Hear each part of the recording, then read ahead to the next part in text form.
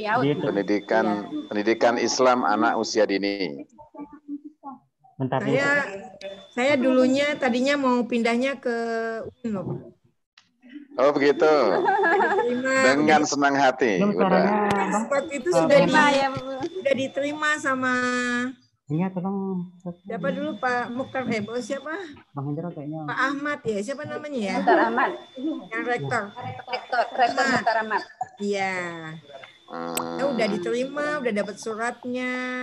Iya iya iya iya. Taunya di di dik- diktinya nggak ngizinkan waktu itu. Iya. Oh, iya iyalah. Akhir- Akhirnya ke Undri. Padahal pertama kali itu saya ke UIN dulu. Terus akhirnya biasa. terima di Undri. Tapi sekarang mah di mana pun berada tinggal tidak tersambung kita kok. Iya, iya. Baik baik baik. Nanti eh, saya berapa menit ya? Memang dalam jadwal 15 menit, Bunda. Baik, nanti saya sesuaikan aja Mbak Dan. Ya, 15 menit ya. Iya. Eh, tadi Bunda belum ada ini eh, dengan narasumber yang lain karena tadi Bunda eh, belakangan kan. Ada eh, Bunda Hamidah dari Malaysia nih, Bunda. Oh, Alhamdulillah. Assalamualaikum Bunda, Assalamualaikum. Waalaikumsalam. Selamat merahimi kita. Iya, terima kasih. Di ngajar di mana, Bun? Di Universiti Malaya, Oh, Malaya. iya Kuala Lumpur. Kuala Lumpur. Di ini juga, Yearly Childhood Education juga. Iya saya. Terus ada Bunda Yeni dari UPI nih, Bunda. Assalamualaikum Bu Neti, apa kabar? Hai, Waalaikumsalam. Ketemu lagi. Terakhir Udah lama ketemu di nggak? tahun Udah lama nggak ketemu ini. ya, November terakhir. November. Iya. Yang jalan- di mana waktu itu kita di sana kan? Regio, di Regio. Di Emilia kan? Iya, betul. Luar biasa ini pembicara-pembicaranya nih. Ya, ini satu yang paling ganteng karena nggak ada saingan ya. Pak Sigit. Mana nih? Pak Sigit. Sigit Purnama. Assalamualaikum Bu Neti. Ya, Waalaikumsalam. Ketemu lagi ya. Tahun Iya. kemarin kita ketemu di Bengkulu Bu, yang acara asosiasi Piaut itu. Oh iya benar yang yang dia di di apa di ada Pak Iya. Direktur ya, Pak Abdi. ya. Pak Asbi. Ini dengan adanya COVID ini malah lebih produktif kita. Ya, ya, Bu. Nah, nah, Saya- hari. Alhamdulillah. Saya barusan acara dengan Profesor Fasli tadi. Wow. Sampai jam 10 kurang tiga, eh, kurang 5 saya langsung terbang ke Pekanbaru. Enak kan? Tiga menit ya. Ya, nanti oh iya maaf eh, kita sampai jam berapa? Karena saya jam sebelum jam 12 harus ada di Surabaya nih. Oh gitu. Memang ja- kita waktunya sampai jam 12 Bun. Cuma kalau misalnya Bunda harus leave lebih dulu, ya monggo aja. Kalau ada pertanyaan nanti kan ke Bunda dulu nanti. Ya, begitu boleh ya. Jadi nanti Oke. setengah 12 saya meninggalkan di sini. Saya mau terbang ke Surabaya. Gampang banget sekarang cuma lima menit loh, Pak Dekan. Iya betul betul betul. Dari Jakarta ke Pekanbaru, terus habis itu ke Surabaya, terus nanti eh, berbuka lagi di Jakarta, Pak. Itu itu namanya mengambil hikmah di balik musibah. Balik musibah. Iya.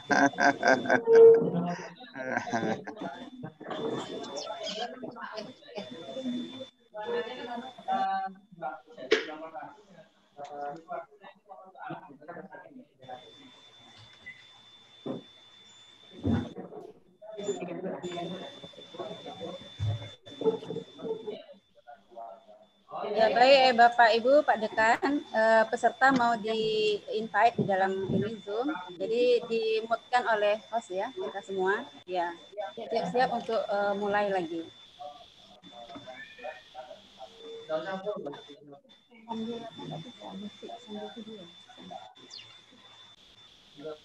Ya, terutama yang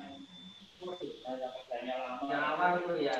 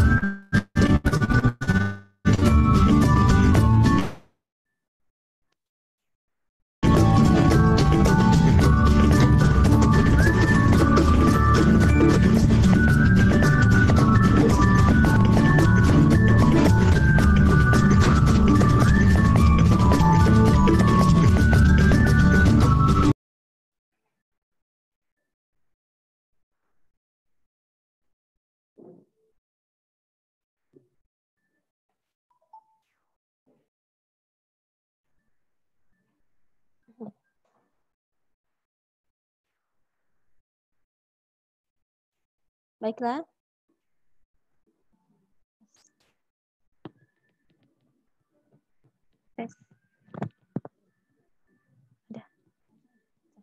Assalamualaikum warahmatullahi wabarakatuh.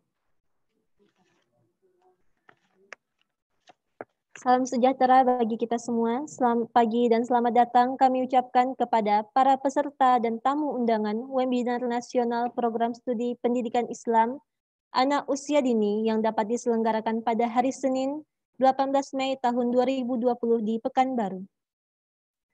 Puja dan puji syukur kita kehadirat Allah Subhanahu wa taala yang telah memberikan rahmatnya sehingga kita bisa bersama-sama hadir dalam acara webinar nasional program studi pendidikan Islam anak usia dini Fakultas Tarbiyah dan Keguruan UIN Sultan Syarif Kasim Riau bekerja sama dengan Himpaudi dan PPS Piaut Indonesia dengan tema dan harapan dengan tema tantangan dan harapan pendidikan anak usia dini di masa pandemi COVID-19.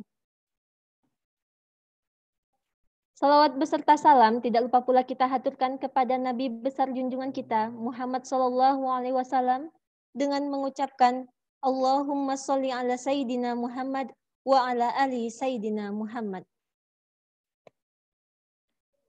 Yang terhormat Dr. Haji Muhammad Syaifuddin SAG MAG selaku Dekan Fakultas Tarbiyah dan Keguruan UIN Sultan Syarif Kasim.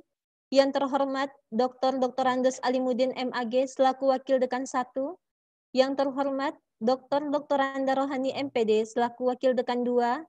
Yang terhormat Dr. Dr. Andes Nur Salim MPD selaku Wakil Dekan 3. Yang terhormat Dr. Nur Hasanah Bahtiar MAG selaku Ketua Program Studi Pendidikan Islam Anak Usia Dini Fakultas Tarbiyah dan Keguruan UIN Suska. Yang terhormat Ibu Fatimah Depi Susanti Harahap SPDI MA selaku Sekretaris Program Studi Pendidikan Islam Anak Usia Dini Fakultas Tarbiyah dan Keguruan UIN Suska Riau. Yang terhormat Dr. Zuhairan Syah Arifin MAG sebagai moderator kita pada hari ini. Dan yang kami muliakan para narasumber, yaitu Profesor Dr. Insinyur Neti Herawati MSI, selaku Ketua Himpunan Pendidikan dan Tenaga Kependidikan Anak Usia Dini Indonesia Himpaudi, yang terhormat Bunda Hamidah Sulaiman, MA PhD, Senior Lecturer of Department of Educational Psychology and Counseling University of Malaya, yang terhormat Ibu Yeni Rahmawati, MPD PhD, selaku Ketua Pusat Studi Anak Usia Dini, Universitas Pendidikan Indonesia Bandung. Yang terhormat, Dr. Sigit Purnama, SPDI MPD, selaku Ketua Umum Perkumpulan Program Studi Pendidikan Islam Anak Usia Dini, PPS PGRA Indonesia. Dan kita kenal juga beliau adalah dosen UIN Sunan Kalijaga, Yogyakarta. Yang terhormat, Dr. Nur Hasanah Bahtiar, MAG, Ketua Program Studi Pendidikan Islam AMI UIN Suskariau. Dan tidak lupa pula kami sampaikan salam kepada Bapak dan Ibu dosen Pendidikan Islam UIN Suskariau beserta seluruh peserta webinar nasional dan mahasiswa-mahasiswi seluruh Indonesia yang berbahagia. Peserta yang berbahagia, Pada kesempatan kali ini, izinkan saya membuka acara ini dengan sebaik dua bait pantun. Sirih berlipat, sirih pinang, sirih dari negeri Malaysia. Pemanis kata selamat datang, awal bismillah pembuka acara.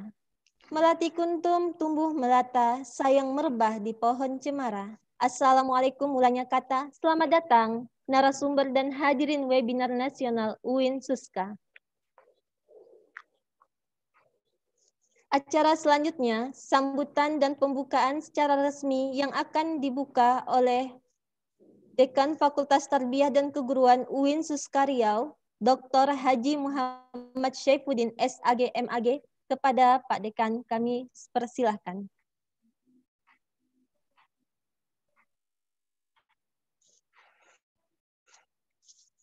Assalamualaikum warahmatullahi wabarakatuh.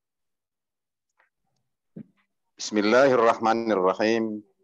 الحمد لله رب العالمين والصلاة والسلام على أشرف الأنبياء والمرسلين سيدنا مولانا محمد وعلى آله وأصحابه أجمعين. أشهد أن لا إله إلا الله أشهد أن محمدا عبده ورسوله المبعوث رحمة للعالمين. سبحانك لا علم لنا إلا ما علمتنا إنك أنت العليم الحكيم. Hasbunallah wa ni'mal wakil, ni'mal maula wa ni'mal nasir, la hawla wa la quwata illa billahil aliyil azim amma ba'd. Yang saya hormati narasumber jemputan majelis yang mulia, yakni pertama Ibunda Profesor Dr. Neti Herawati MSI, selaku Ketua Himpaudi, juga aktivis perempuan yang kita kenal di Provinsi Riau. Yang kedua, Dr. Sigit Purnomo, MPD, selaku Ketua Perhimpunan Program Studi Pendidikan Islam Anak Usia Dini, juga sekaligus sebagai dosen pada UIN Sunan Kalijaga, Yogyakarta. Yang ketiga tentu uh, puan kita dari negeri tetangga, Puan Hamidah Sulaiman PhD dari University of Malaya.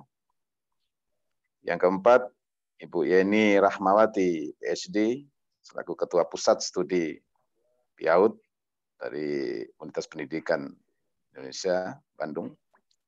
Dan juga Ibu Dr. Hajah Nursana Bakhtiar, MAG, selaku Ketua Prodi PIAUD pada Fakultas Tarbiyah dan Keguruan Universitas Riau.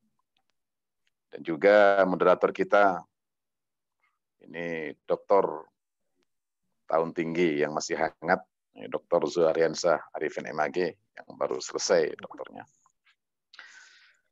Dan juga tentu kepada segenap uh, partisipan ataupun peserta dari seluruh penjuru negeri dan Nusantara. Ya, selamat datang di ajang ilmiah dalam kajian uh, spesifik yang terkait dengan uh, pendidikan Islam anak usia dini. Dan juga kepada segenap panitia yang menajak kegiatan ini.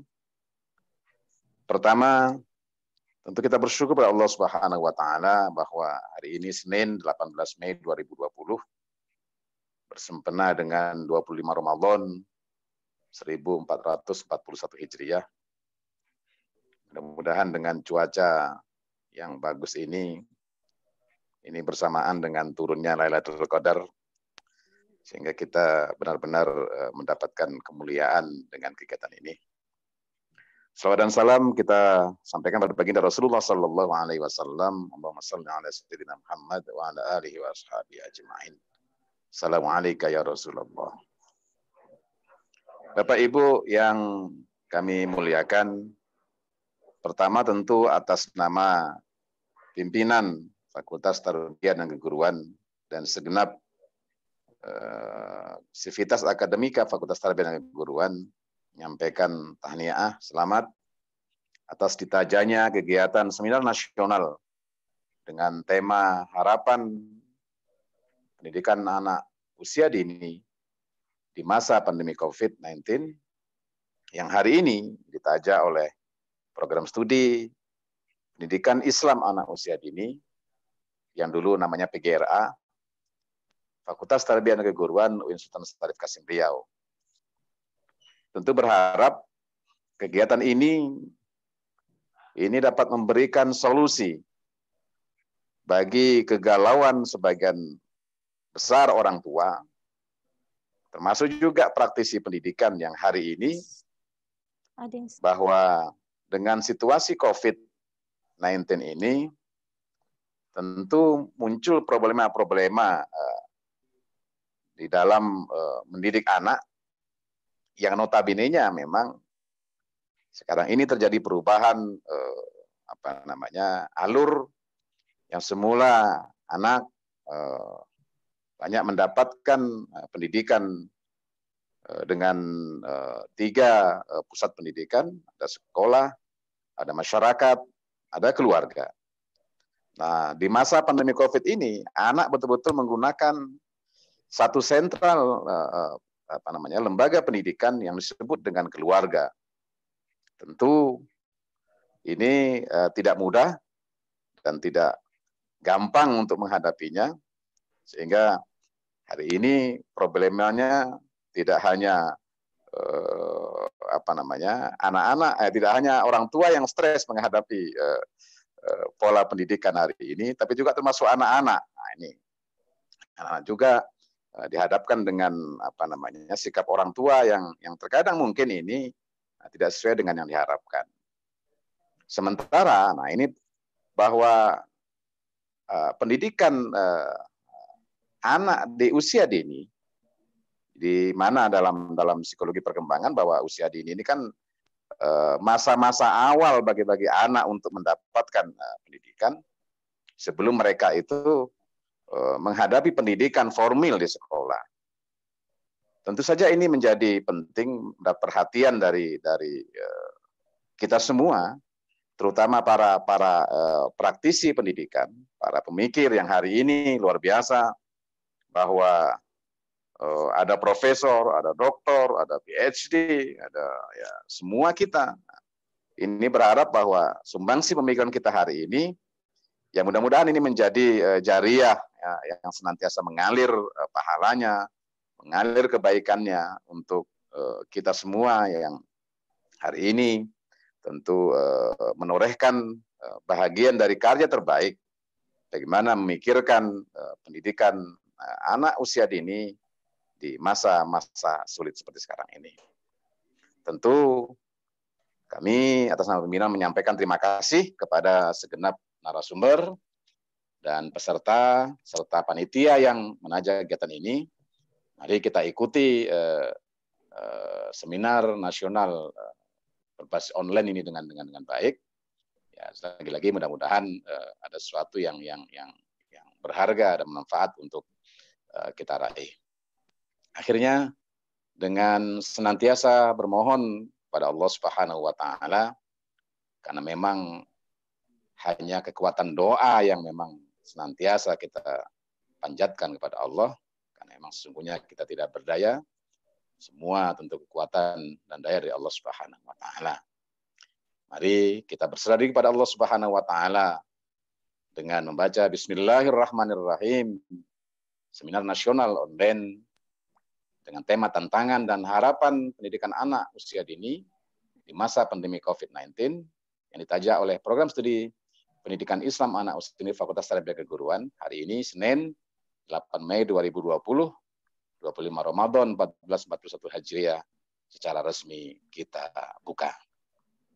Semoga Allah Subhanahu wa taala eh, senantiasa memberikan kekuatan kepada kita semuanya. Di akhir sambutan ini saya bacakan pantun. Banyak dibeli buah markisah. Dibuat jus dan diminum sesudah makan. Memang enak kalau bicara minuman di bulan puasa ini, segar rasanya. Mendidik anak usia dini, janganlah resah. Insya Allah akan sukses di masa depan. Amin. Satu lagi ini, karena tadi ada dari Malaya, dari dari negara tetangga. Dari Malaya, dari Malaya menuju Pekanbaru. Saya ucapkan kamsia, thank you. Assalamualaikum warahmatullahi wabarakatuh.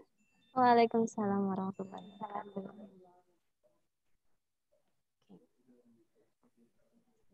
Oke. Terima kasih kita ucapkan kepada Pak Dekan atas sambutannya dan diiringi dengan pantunnya yang luar biasa. Selanjutnya kita masuki acara yang kita tunggu-tunggu yaitu sesi seminar.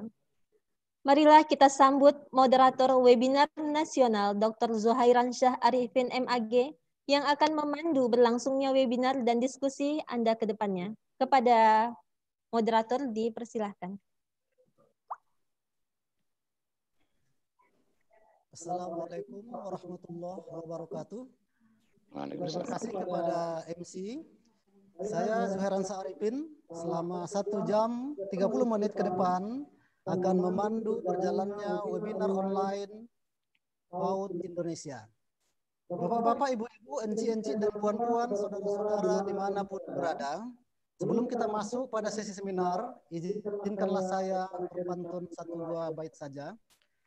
Bunga mekar di pagi hari, ada mawar dan juga melati. Sebelum masuk ke webinar inti, dengarkan dulu pantun dariku ini. Sebelum hujan sediakan payung, ketika hujan melamun, melihat semangat para pengunjung, kusapa kalian dengan salam santun. Jalan-jalan ke Pulau Sumatera, singgahlah Tuan di Pekanbaru. Assalamualaikum untuk semua. Izinkan saya memperkenalkan diri. Assalamualaikum warahmatullahi wabarakatuh. Alhamdulillah, hari ini ada lima narasumber kita dari dalam dan luar negeri. Insya Allah tidak asing lagi bagi kita. Mereka-mereka adalah para dosen, senior lecturer, dan ketua Himpodi dan PPS Piaut Indonesia. Peserta tentu sudah tidak sabar lagi menanti narasumber yang luar biasa kali ini. Terlebih dahulu akan saya sapa kelima narasumber kita. Pertama adalah Ibu Profesor Dr. Insinyur Neti Herawati MSI dari Universitas Negeri Riau. Assalamualaikum Bu Prof. Selamat pagi Bu Prof. Oke, selanjutnya narasumber kedua adalah Bunda Hamidah Sulaiman, MA PhD dari University Malaya. Assalamualaikum Bunda Hamidah.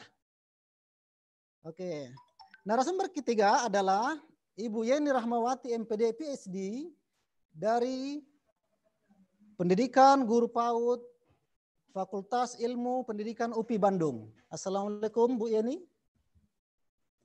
Sedangkan narasumber kita yang keempat adalah Bapak Dr. Sigit Purnama SPDI MPD dari Yogyakarta. Assalamualaikum Pak Sigit.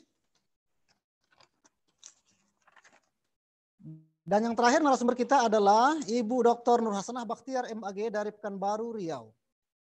Bapak-bapak, ibu-ibu, enci-enci, dan puan-puan, saudara-saudara yang berbahagia. Baiklah, kita masuk pada sesi seminar. Namun, moderator perlu mengingatkan kembali agar para peserta menyiapkan pertanyaan terbaik Anda, karena setelah pemaparan materi, kita akan membuka pertanyaan Siapa yang tercepat dan terpilih akan mendapatkan jawaban langsung dari narasumber. Kita langsung saja. Narasumber kita pertama adalah Profesor Dr. Insinyur Neti Herawati MSI yang biasa disapa dengan Bundo. Beliau merupakan guru besar Fakultas Perikanan Universitas Riau, lahir di Pekanbaru 1 Januari 1965. Beliau aktif dalam organisasi dan pendidikan anak usia dini, dan beliau terpilih sebagai Ketua Pengurus Pusat Himpaudi selama dua periode berturut-turut. Dan sehari-harinya instansi beliau adalah Fakultas Perikanan dan Kelautan Universitas Negeri Riau Pekanbaru.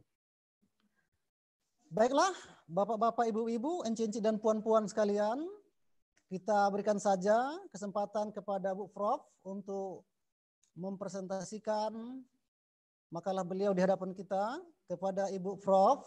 Dipersilahkan. Assalamualaikum warahmatullahi wabarakatuh.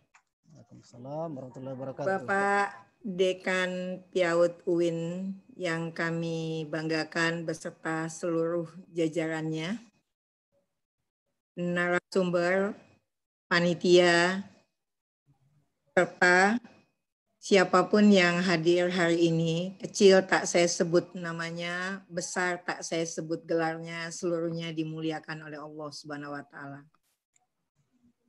Bukan kasih sembarang kasih, kasih hati jauh di sana. Bukan terima kasih sembarang terima kasih.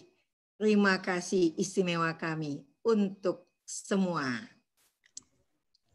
Ibu Bapak sekalian, saya Neti Herawati izinkan menyampaikan materi terkait ini.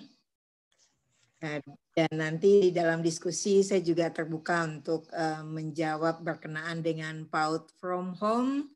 Sehubungan kami juga saat ini sedang menyelenggarakan kegiatan PAUD from home se-Indonesia. Saya adalah dosen di Universitas Riau, tepatnya di Fakultas Pertanian teknologi pertanian, Pak. Jadi saya ralat sedikit. Jadi saya ada dosen di Universitas Riau dan saya adalah putri Melayu tepatnya. Saya lahir di Pekanbaru. Ibu saya juga dari Riau. Baik, inilah judul kita dan saya ingin cepat mendiskusikan tiga hal ini bersama teman-teman. Pertama adalah mari kita mengenal dulu tentang anak usia dini sehingga kita begitu menyadari ini usia yang penting yang menurut beberapa riset menjadi penentu terhadap masa depan bangsa, bahkan tingkat kriminalitas di suatu negara ditentukan di usia dininya.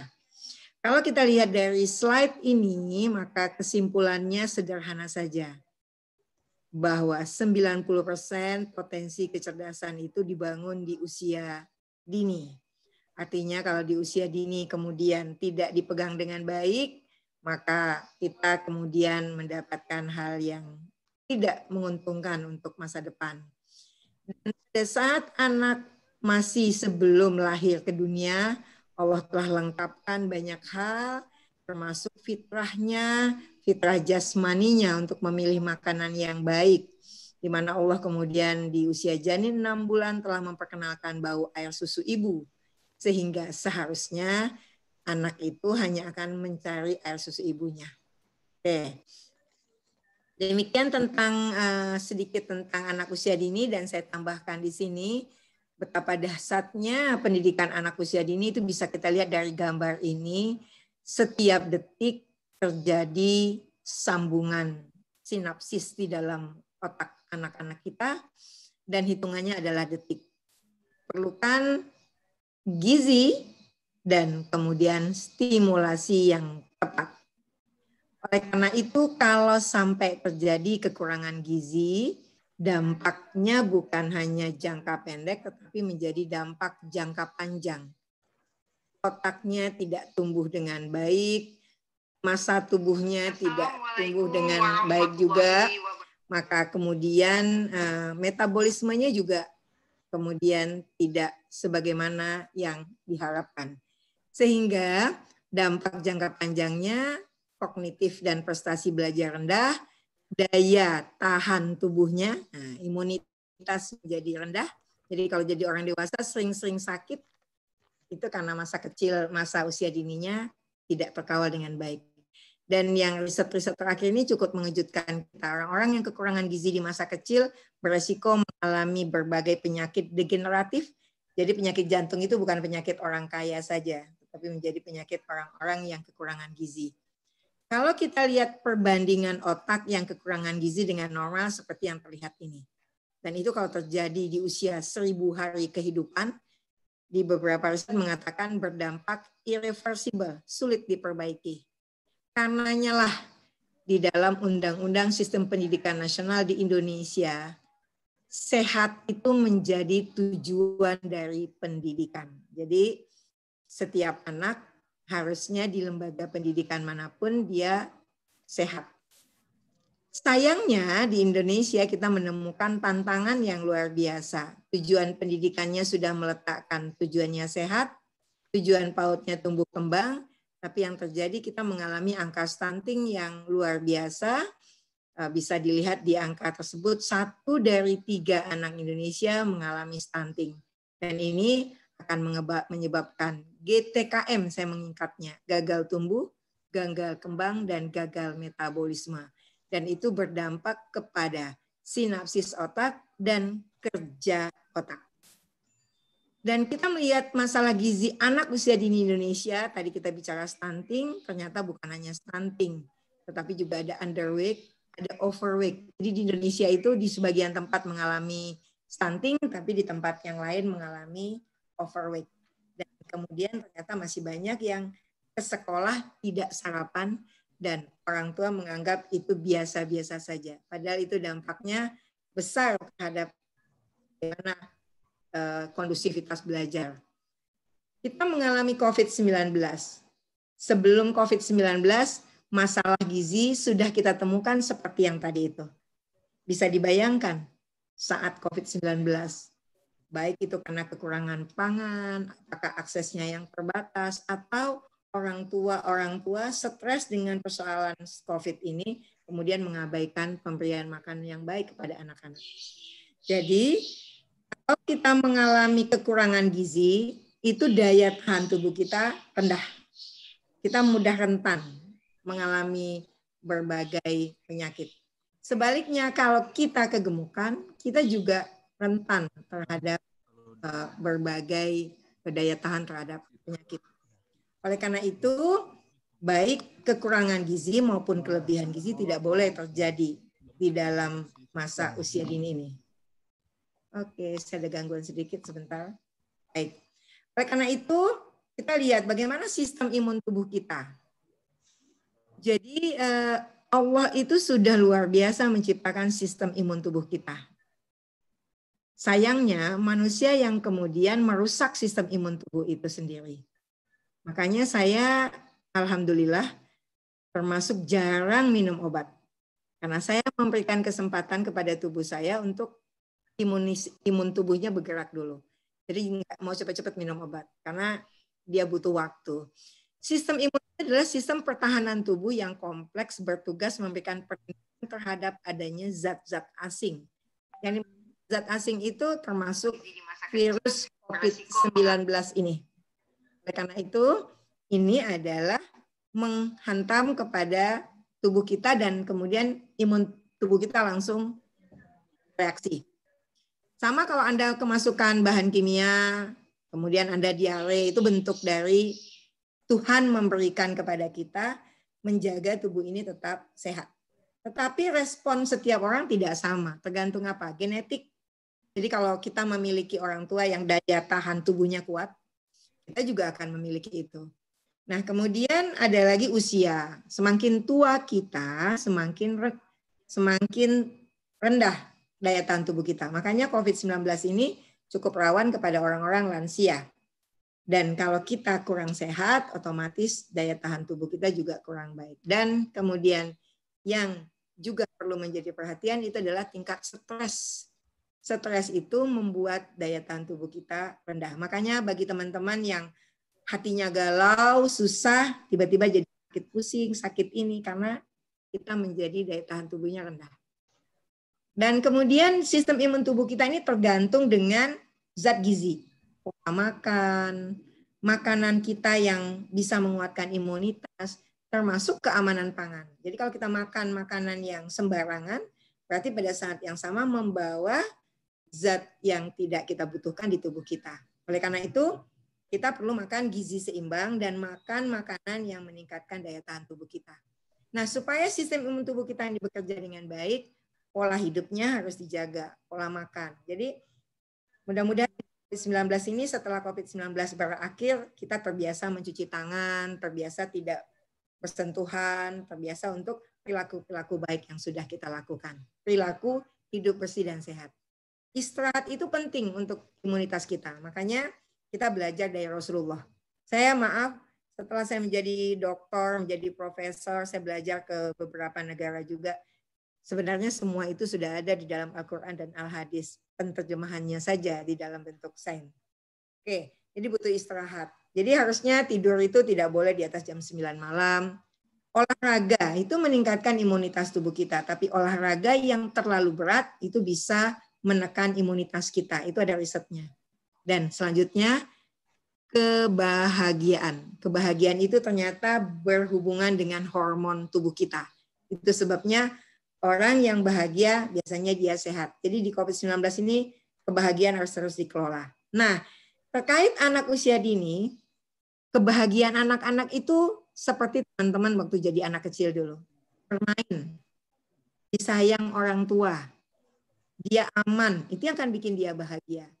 Oleh karena itu, kalau yang di tenangan jiwa, sholat, itu tuh kan kita orang dewasa. Buat anak-anak, yang membahagiakan dia apa? Bermain, disayang kita, kemudian ada kemerdekaan untuk berbuat, tidak apa-apa disalahkan.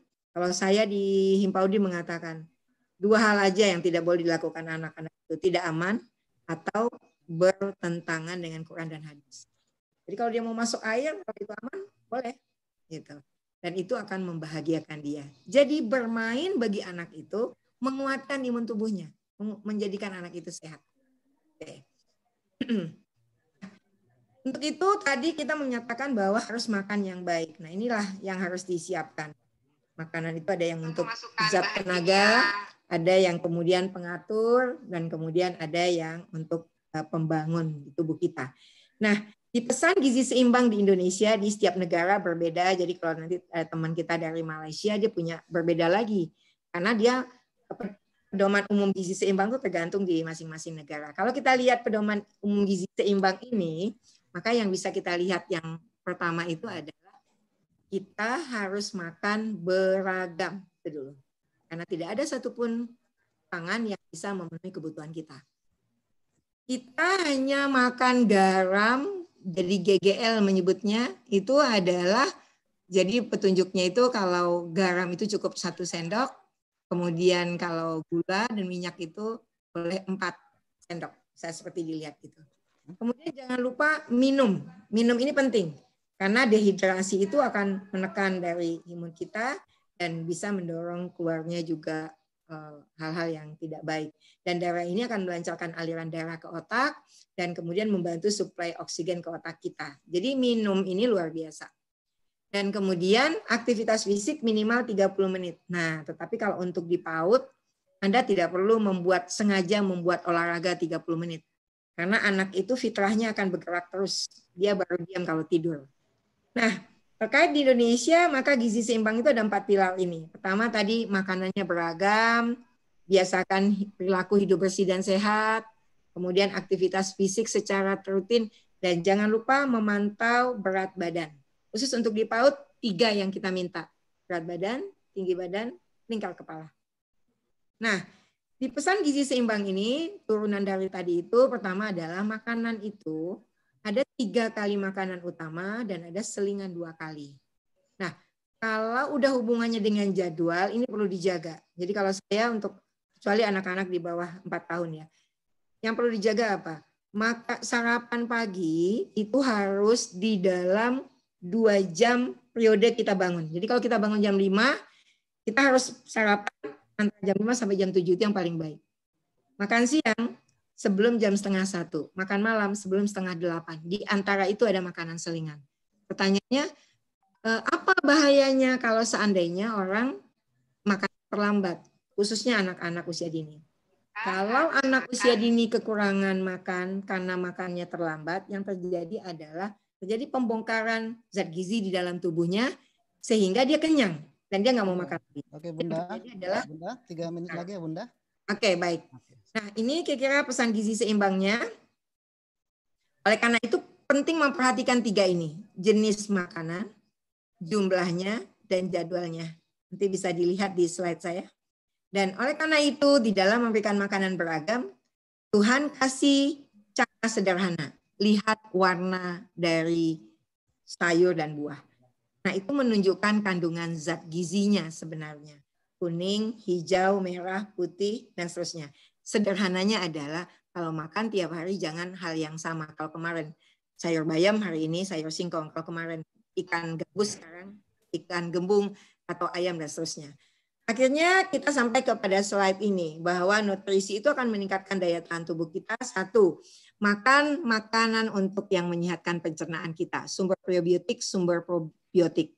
Ditemukan bahwa yogurt itu bisa meningkatkan daya tahan tubuh kita. Kemudian konsumsi zat gizi mikro, konsumsi antioksidan, dan konsumsi perkembangan fungsional.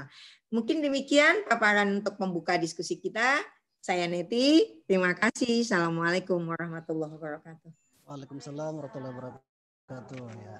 ya, terima kasih kepada Bunda Profesor Dr. Neti Herawati, MSI, yang telah memaparkan panjang lebar tentang pentingnya gizi untuk kembang anak-anak kita di usia dini. Kita lanjut ke sesi kedua.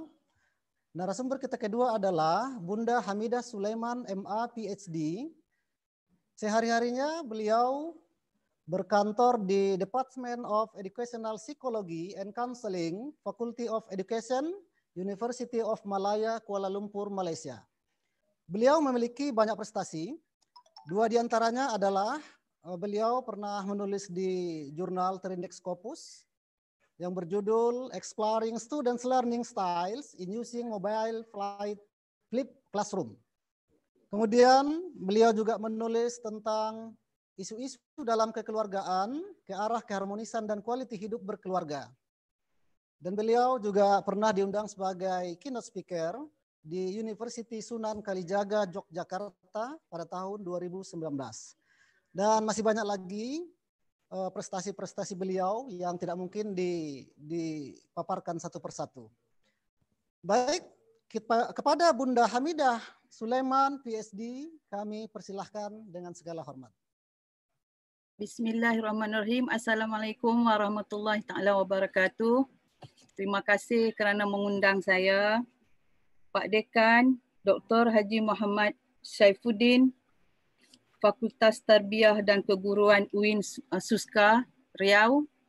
Wakil-wakil Dekan, Dr. Nur Hasanah Bakhtiar, Ketua Perodi, seterusnya pemberi nada sumber sekalian. Terima kasih kerana mengundang saya. Sebenarnya saya bukanlah terlalu banyak ilmunya, setitik dari satu lautan. Jadi untuk memulakan uh, narasumber saya hari ini, saya juga ingin membalas pantun Pak Dekan. Terbentang pelangi di, di langit indah, tujuh warna berbalam-balam. Hari ini tercipta sejarah, payah nak tidur sepanjang malam. Iya, iya. Okey, uh, kita mulakan uh, hari ini uh, yang akan saya berikan uh, ialah tantangan orang tua dalam pendidikan anak usia dini di masa pandemik COVID-19 dari perspektif Islam. Mula-mulanya kita lihat tantangan orang tua. Sebagai orang tua ataupun di di Malaysia dipanggil ibu bapa. Memang dalam abad ke-21 ini amat mencabar kepada orang tua dalam melaksanakan tanggungjawab mendidik anak-anak agar memiliki kepribadian yang baik.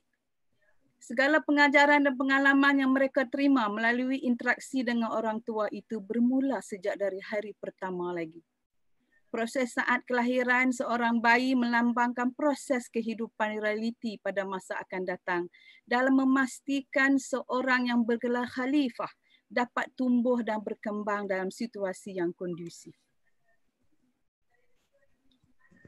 Apa yang kita lihat di sini adalah tentang pendidikan keibubapaan. Jadi ada prasyarat untuk menjadi ibu bapa yang berkualiti, antaranya ialah berilmu, berhikmah ya dun, mempunyai ilmu dunia dan akhirat. Ilmu psikologi, ilmu uh, semua ilmu-ilmu yang uh, memberi manfaat dunia dan akhirat.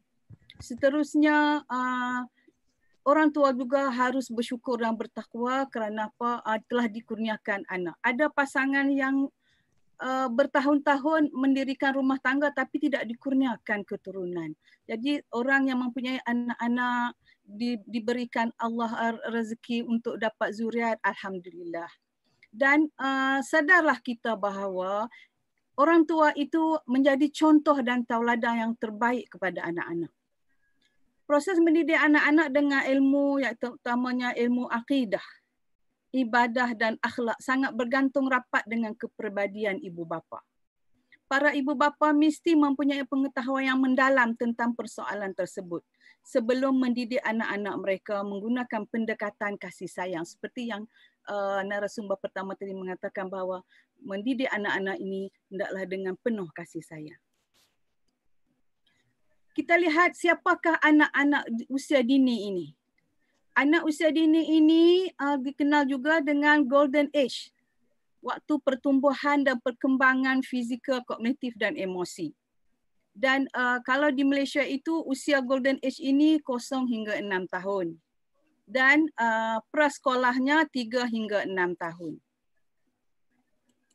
Seterusnya konsep pendidikan anak dini ini pertama sekali berorientasikan kepada kebutuhan anak.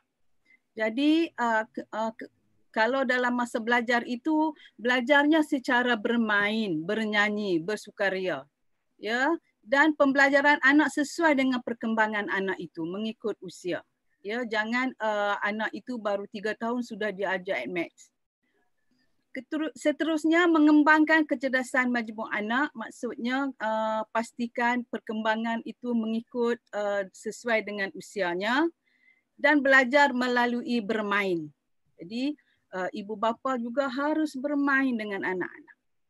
Tahap pembelajaran anak usia dini, anak sebagai pembelajar yang aktif. Memang anak-anak ini, pengalaman bunda uh, ada cucu-cucu, sangat aktif. Kadang-kadang capek nak kakeknya, neneknya. Dan uh, berinteraksi sosial dengan anak ini ber, ber, hendaklah berinteraksi dengan penuh kasih sayang. Tidak boleh dijerit-jerit, ditengking-tengking, uh, mesti uh, menggunakan bahasa yang uh, menyejukkan mata dan hati. Seterusnya, mestilah pendidikan ini mengikut lingkungan yang kondusif. Ya, biar mereka dapat hidup dalam keadaan suasana yang aman dan damai. Seterusnya, merangsang kreativiti dan inovasi. Setiap pembelajaran itu seharusnya merangsang aktivitas dan inovasi, kreativitas dan inovasi anak-anak agar mereka dapat mengembangkan kecakapan hidup, memanfaatkan potensi lingkungan dan pembelajaran sesuai dengan kondisi sosial budaya. Kemudian semua ini mestilah disimulasi secara holistik.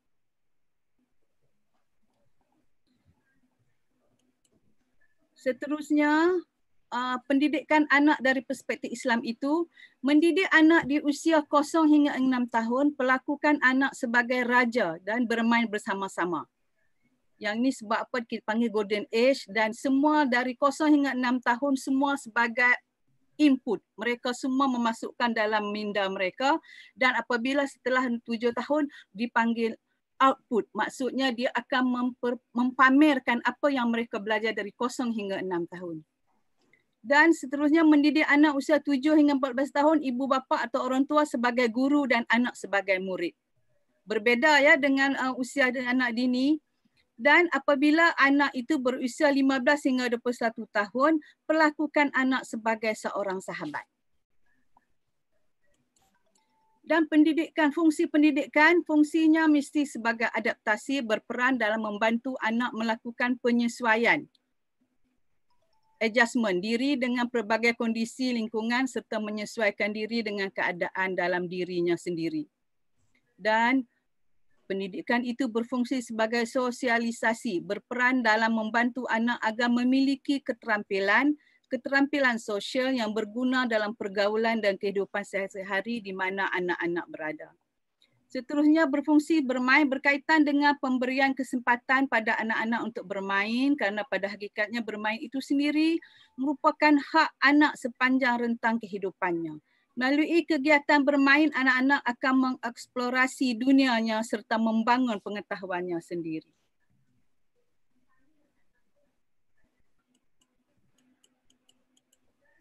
Dan untuk yang seterusnya, fungsi pendidikan untuk fungsi pengembangan berkaitan dengan pengembangan sebagai potensi yang dimiliki anak dan fungsi ekonomi pendidikan yang terencana pada anak merupakan integrasi interaksi jangka panjang yang dapat menguntungkan pada setiap rentang perkembangan selanjutnya.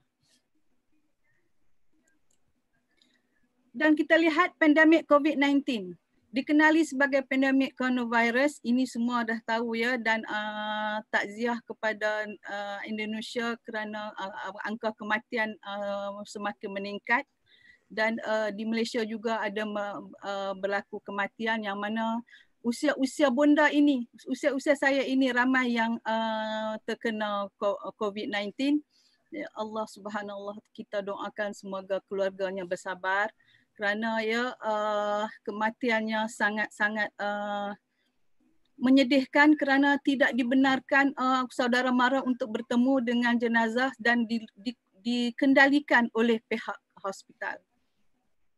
Berpunca daripada virus novel corona ini, wabak ini bermula dikesan uh, pada pertengahan Disember uh, di uh, di bandaraya Wuhan tapi uh, di Malaysia ini berlaku satu kesilapan di mana um, Malaysia tidak menyekat lebih awal dan menyebabkan uh, pengunjung-pengunjung uh, dari China ini datang ke Malaysia dan menyebarkan uh, wabak ini.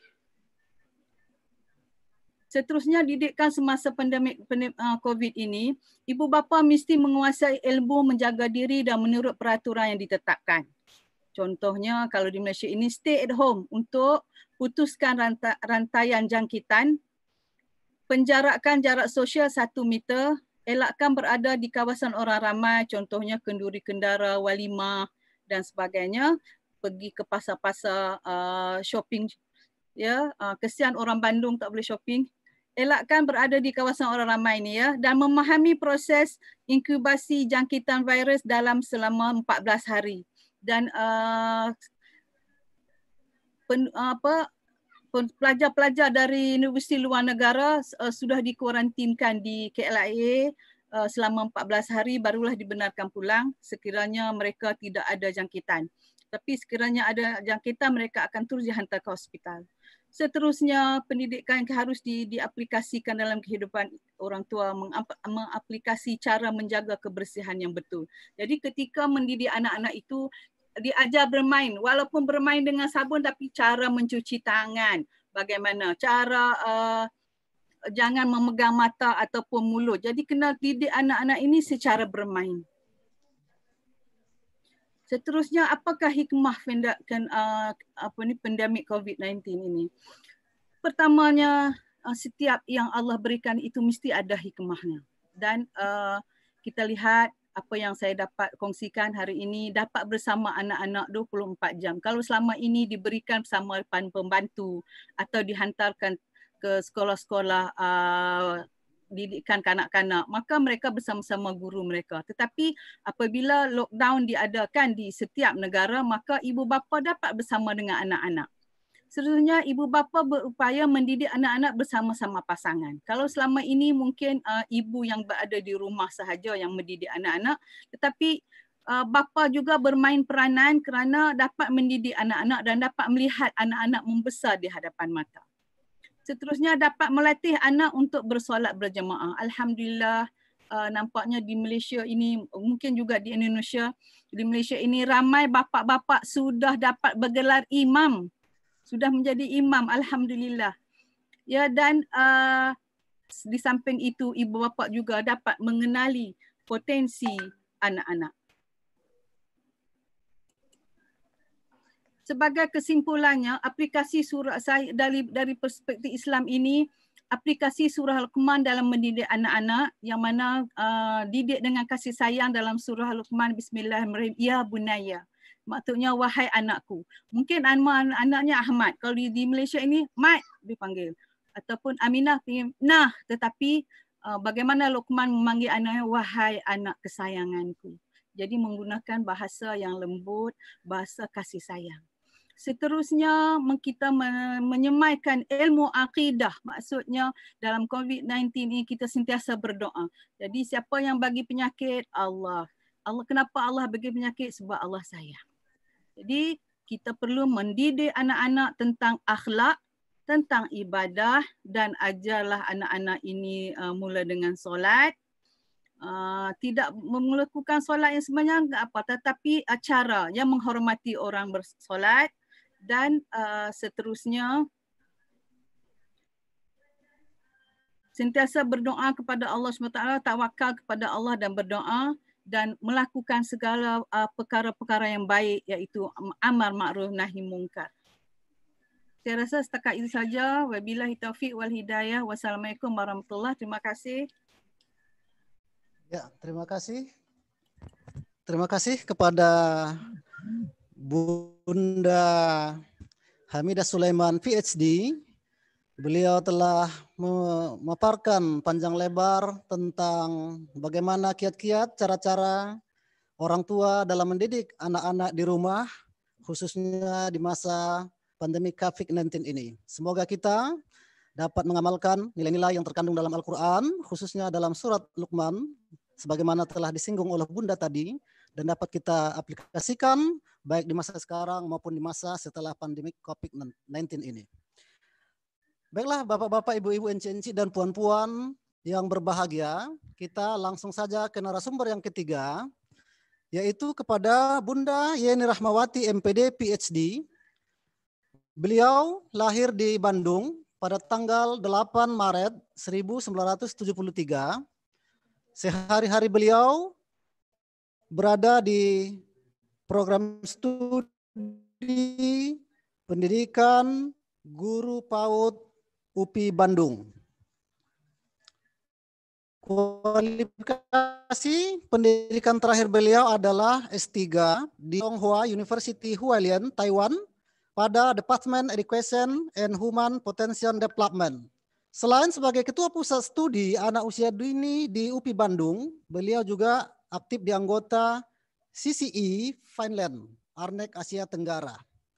Hasil karya beliau sangat banyak sekali, Tiga di antara karya beliau, Strategi Pengembangan Kreativitas Anak TK yang diterbitkan oleh Prenada Media Jakarta tahun 2019. Yang kedua, beliau juga mengarang buku yang berjudul Model Pembelajaran BALS, Model Pembelajaran Belajar pada Alam dan Lingkungan Sekitar yang diterbitkan pada tahun 2020. Kemudian Beliau juga adalah dosen berprestasi peringkat satu dan dua bidang sosial humaniora tingkat fakultas dan universitas UPI Bandung pada tahun 2017. Baiklah Bapak Ibu NCNC dan puan-puan, saudara-saudara yang telah join bersama kami, mari kita dengarkan narasumber kita yang ketiga kepada Ibu Yeni Rahmawati MPD PhD dipersilahkan. Baik, Bismillahirrahmanirrahim. Assalamualaikum warahmatullahi wabarakatuh. Bismillahirrahmanirrahim. Allah. Terima kasih kepada Bapak Moderator dan kepada keluarga besar Prodi Piaud Fakultas Tarbiyah Universitas Islam Negeri Sultan Syarif Kasim Riau yang telah memberikan kesempatan kepada saya untuk hadir dalam forum yang insya Allah berkah ini ya, 25 Ramadan. Amin. Baiklah, eh, teman-teman eh, semua.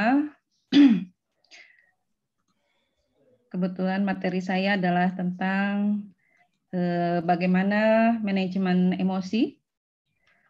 Ya, sudah terlihat ya Pak ya? Oke. Okay. Uh, Alhamdulillah hari ini kita akan sharing tentang bagaimana memanage emosi bagi orang tua di masa pandemi COVID-19 ini. Ya, baik. Eh, situasi pandemi hari ini kita melakukan WFH, work from home, school from home around the world. Jadi eh, di seluruh dunia melakukan itu karena memang penyebaran virus ini terjadi menyeluruh ke seluruh dunia begitu ya. Ini baru dalam sejarah bagaimana satu pandemi Eh, melanda keseluruhan wilayah di seluruh dunia. Eh, kemudian kondisi pandemi COVID-19 ini kita tidak tahu pastinya kapan akan berakhirnya. Nah ini banyak berdampak terhadap ekonomi, pendidikan, kesehatan, dan sosial masyarakat, sehingga timbul mungkin ya di sebagian orang tua masyarakat kita ada kecemasan, stres, kemudian eh, kebosanan sampai kapan ini gitu ya berakhirnya ada depresi dan sebagainya. Nah, eh, kita akan lihat how to face the pandemic. Ada tiga kriteria, ada tiga sikap dalam menghadapi pandemi COVID ini.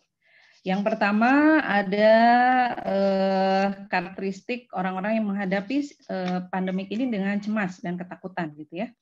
Kemudian yang kedua, ada orang-orang yang bisa melakukan adaptasi dan penyesuaian. Kemudian yang ketiga adalah tumbuh dan berkembang. Mereka yang menghadapi situasi ini dengan cara growing and develop. Ya. Nah, ini kita akan lihat bagaimana uh, kriteria atau karakteristik uh, mereka yang menghadapi cemas dan ketakutan dalam menghadapi pandemi ini. Ya, ini sudah ini ya kabar yang sangat jelas sekali. Banyak sekali kita lihat ada fenomena-fenomena panik buying. Jadi di supermarket, supermarket bukan hanya di Indonesia saja, mungkin ya di bagian di beberapa wilayah, termasuk di berbagai dunia gitu ya. Jadi orang-orang panik untuk belanja, membeli segala sesuatu yang dibutuhkan uh, untuk dirinya dan keluarganya gitu ya, sehingga sampai apa namanya supermarket sampai habis begitu ya, sampai tidak ada yang bisa dibeli lagi, obat-obatan juga habis dan sebagainya. Panik buying karena tadi kecemasan yang berlebihan atau tadi ada sikap yang stres depresi begitu ya. Karena tadi tidak tahu kapan diselesai bagaimana ini apa yang harus dilakukan. Biasanya setiap hari keluar rumah sekarang harus di rumah terus-terusan. Apa yang harus dilakukan dan sebagainya. Reaktif jadi setiap ada berita langsung reaksi direspon dengan tanpa uh, berpikir panjang gitu ya. Kemudian uh, hal lain adalah berkeluh berkeluh kesah begitu ya. Banyak uh, berkeluh kesah mengeluh begitu ya. Kapan ini berakhir? Kemudian uh, saya harus bagaimana? Ini kurang makan dan sebagainya. Atau uh, sikap marah pada keadaan. Jadi lari dari kenyataan, memarahi situasi, marah, pada setiap orang, marah pada pemerintah mungkin gitu ya. Uh, marah pada guru gitu ya, marah pada keadaan karena tidak menerima situasi hari ini. Kemudian kita lihat ada satu fenomena yang cukup menarik dalam masa pandemi ini ada kasus KDRT yang meningkat di setiap negara, bukan hanya di Indonesia ya, 20 sampai 40 persen kasus-kasus KDRT meningkat dari berbagai negara ya, mulai dari eh, Kanada, Inggris, Cina, Jerman, Amerika Serikat, Italia gitu ya, termasuk di Indonesia. Dan yang paling tinggi itu di Australia ada sekitar 40 persen kasus-kasus KDRT meningkat. Juga di Spanyol sampai 40 persen gitu. Jadi eh, kondisi ini memang tidak hanya melanda kita semua, kasus-kasus stres gitu ya, eh, depresi ini melanda banyak eh, orang gitu karena kita apa ya eh, ketidakjelasan dalam menghadapi situasi seperti ini, ada ketakutan dan sebagainya. Nah, lalu kita akan melihat bagaimana karakteristik yang kedua, yaitu orang-orang yang bisa beradaptasi dan melakukan penyesuaian. Mereka melakukan hal-hal yang positif. Kalau tadi cemas, penuh ketakutan, yang kedua ini positif gitu ya. Ada proses adaptasi dan penyesuaian. Bagaimana seseorang bisa melihat situasi, menerima kenyataan, lalu membuat membangun keseimbangan gitu ya. Oke, kalau misalnya eh, biasanya pergi ke sekolah, pergi kerja, melakukan eh, aktivitas di luar. Hari ini kita harus WFH, diam di rumah apa yang harus dilakukan. Tentunya tadi mungkin sangat terjadi ada kebosanan, kejenuhan, tidak tahu harus mengerjakan apa begitu ya. Nah, bagaimana eh, orang-orang ini membangun keseimbangan begitu ya. Oke, diam di rumah apa yang harus dilakukan? Bagaimana supaya tidak jenuh begitu ya. Dia melakukan harmonisasi, penyesuaian, hemestasis begitu ya. Mengurangi ketegangan. Ketegangan ini eh, sangat-sangat eh, apa ya, penting harus diperhatikan ibarat kalau misalnya eh, seperti senar, senar eh, gitar gitu ya, atau satu senar atau satu kawat atau satu eh, apa ya benang yang dia elastis, kalau direntang sangat dengan sangat penuh ketegangan terus-terusan itu bisa putus gitu. Jadi tali yang direntang terus-terusan dengan ketegangan terus-terusan, kalau ditarik terus-terusan tanpa ada istirahat itu bisa putus gitu ya. ya begitu juga dengan kondisi e, psikologis kita. Jadi kalau tegang terus-terusan, depresi terus-terusan, nah nanti tadi salah satunya adalah imunisasi imun. Imun kondisi imunnya menurun begitu ya. Kemudian e, bagaimana kita berdamai dengan keadaan, berdamai dengan diri sendiri. Jadi segala sesuatu stres itu munculnya dari dalam begitu ya, dari dalam diri, dari pikiran, dari perasaan. Nah, bagaimana proses eh, penyesuaian atau keseimbangan itu kita melakukan berdamai. Bagaimana kita bisa lebih menerima keadaan, menerima situasi gitu ya. Dengan cara di antaranya berpikir berpikir positif gitu ya. Kemudian ada lagi yang ketiga adalah mereka yang tumbuh berkembang gitu ya.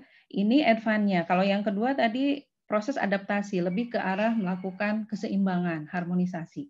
Nah, yang ketiga adalah kelompok mereka yang bisa tumbuh dan berkembang. Jadi advance dari tadi. Mereka sudah melakukan adaptasi, penyesuaian, lalu what next? Bagaimana kira-kira apa yang bisa dilakukan untuk melakukan hal yang lebih baik lagi gitu ya. Misalnya di antaranya eh, dia mampu menolong sesama. Jadi tidak hanya menolong dirinya sendiri, bagaimana dia bisa keluar dari kondisi ini, namun dia juga berpikir bagaimana dia bisa menolong sesama yang lain. Ada orang yang kesulitan di luar sana, apa yang bisa diberikan misalnya. Nah itu melegakan sesuatu yang kita lakukan, kebaikan yang dilakukan itu membuat mentalitas mental seseorang menjadi lebih sehat gitu ya.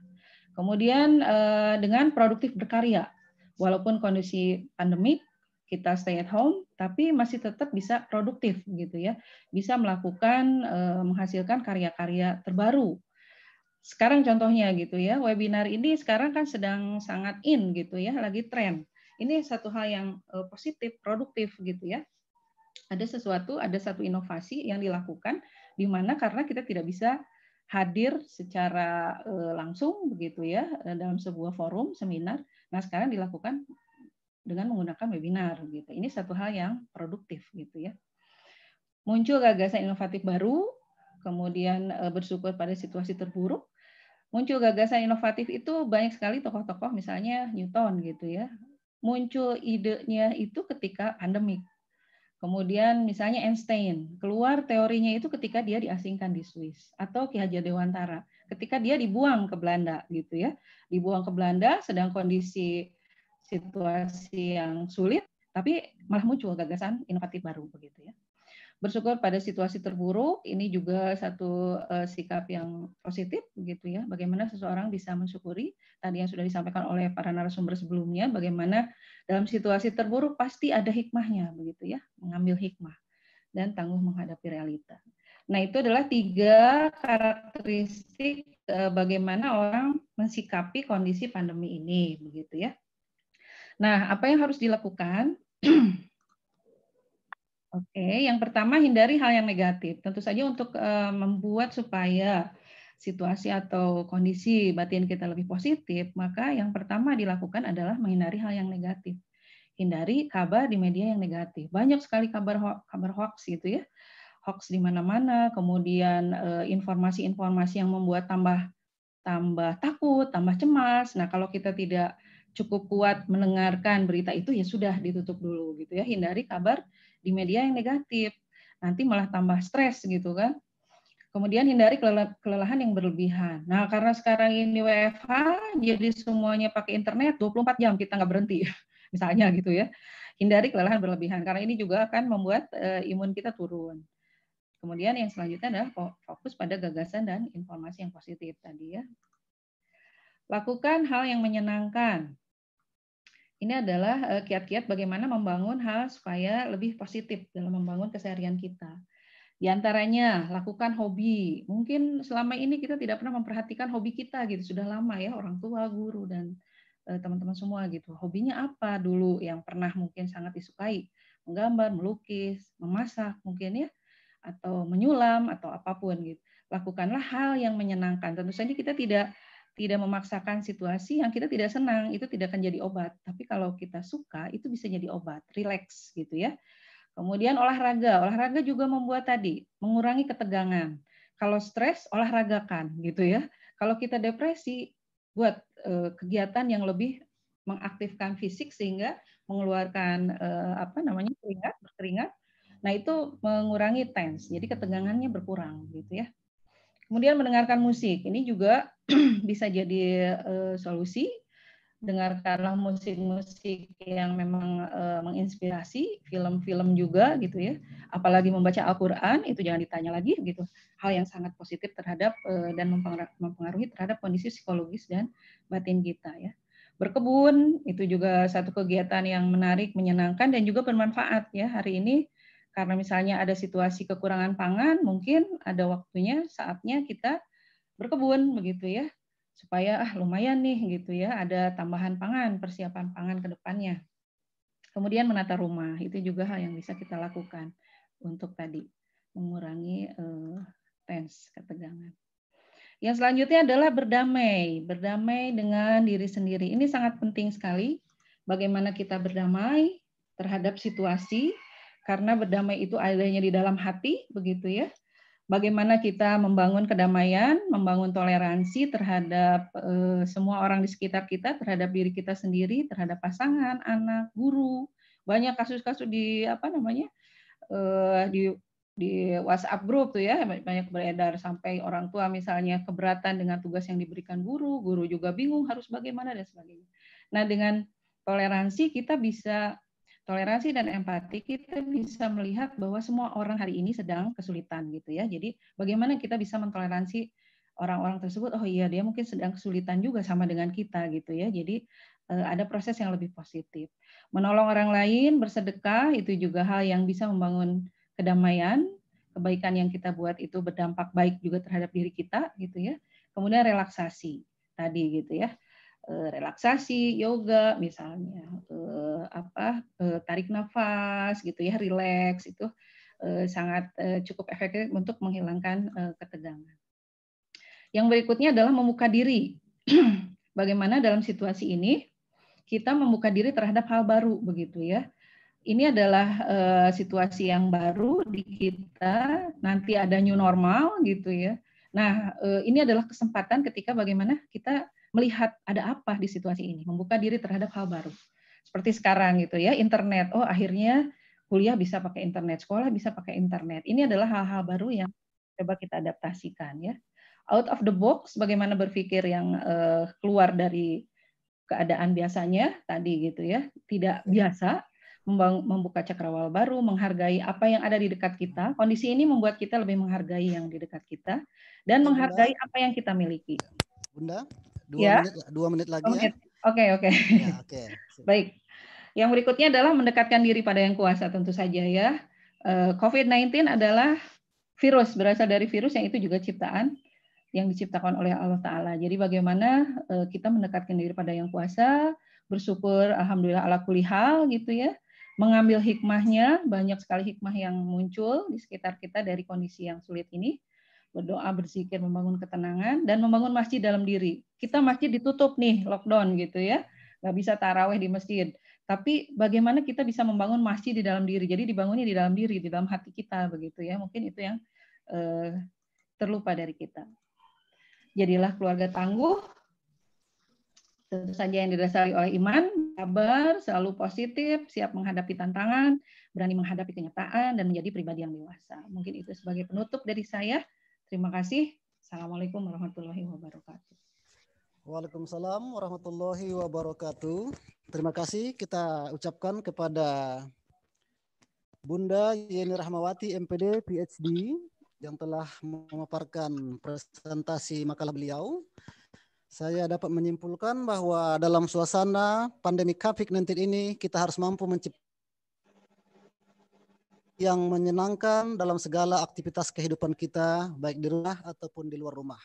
Dan kita harus berdamai dengan situasi, baik dengan pasangan, anak, serta guru atau teman-teman anak-anak kita yang lain. Baik Bapak-Bapak, Ibu-Ibu, enci-enci dan puan-puan yang berbahagia, kita lanjut saja kepada narasumber yang keempat, yaitu Bapak Dr. Sigit Purnama, SPDI, MPD.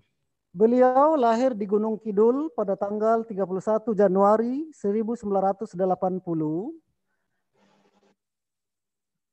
Pendidikan S3-nya adalah program studi teknologi pembelajaran pasca sarjana Universitas Negeri Malang pada tahun 2014. Sehari-hari beliau berkantor di UIN Sunan Kalijaga, Yogyakarta. Banyak sekali hasil karya beliau, tiga di antaranya adalah berpikir logis anak usia 5 sampai 6 tahun di Raudul Tul Atfal Bunaya Giwangan pada tahun 2019. Karya beliau yang lain adalah Desain Interior dan Eksterior Pendidikan Anak Usia Dini yang diterbitkan di Pustaka Egaliter Yogyakarta tahun 2020. Dan beliau juga sebagai pengawas perkumpulan pengelola jurnal pendidikan anak usia dini Indonesia periode 2019-2023. Selain itu beliau juga sebagai Ketua Umum PPS PIAUD Indonesia periode 2019-2023.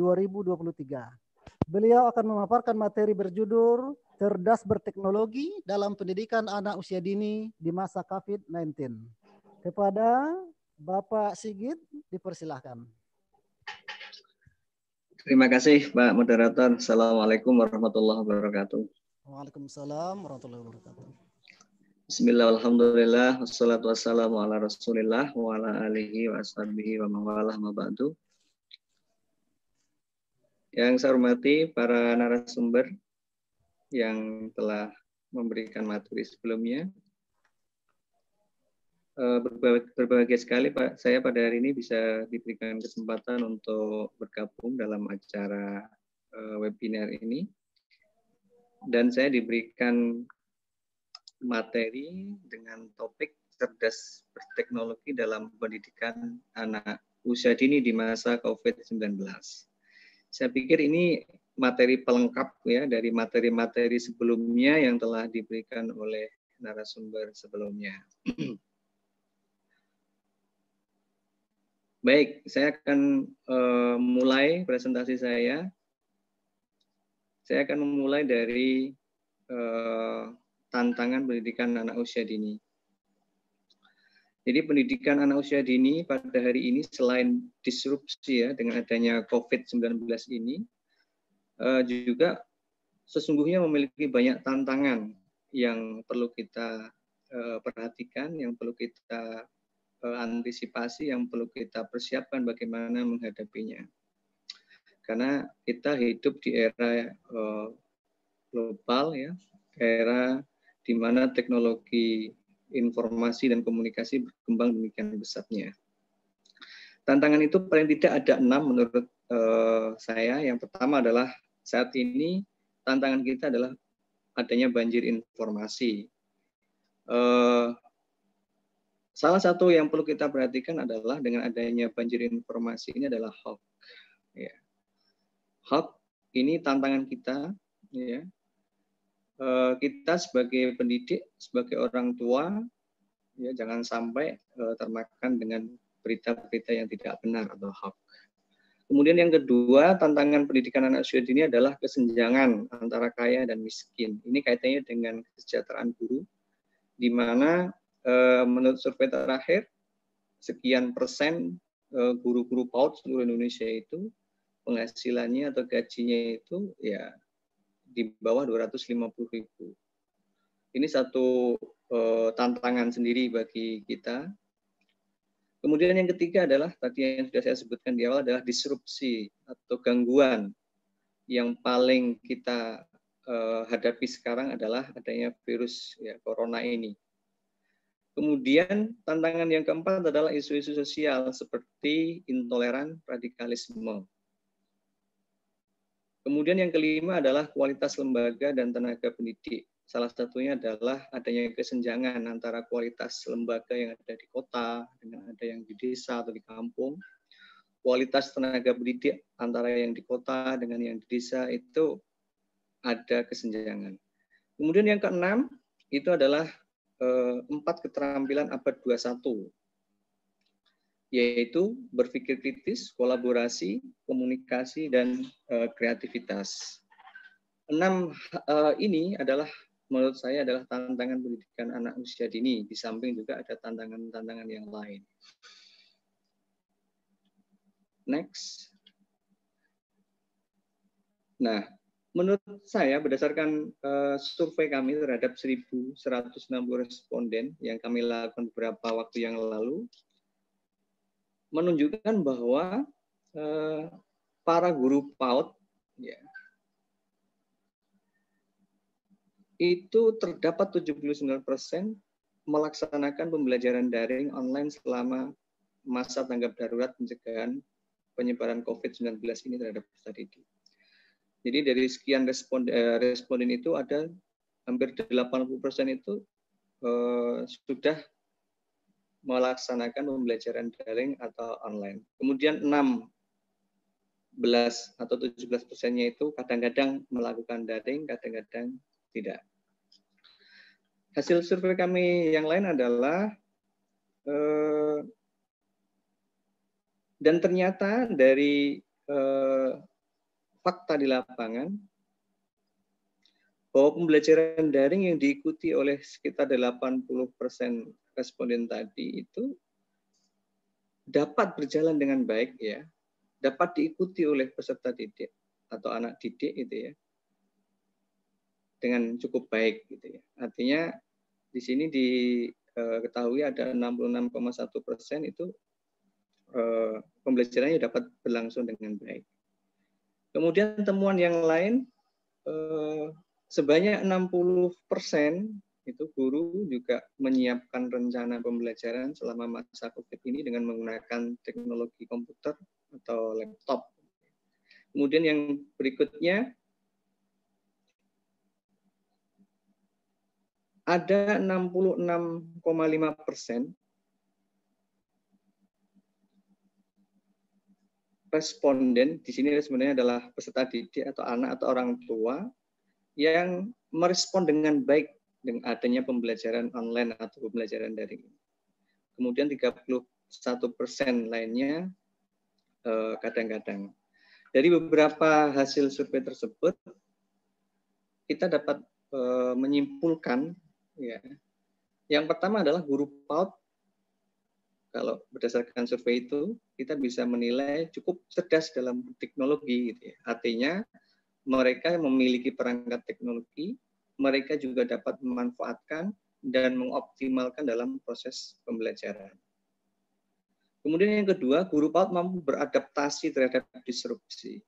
Artinya di tengah-tengah wabah, mereka tetap juga bisa melaksanakan uh, pembelajaran dengan memanfaatkan uh, produk-produk teknologi.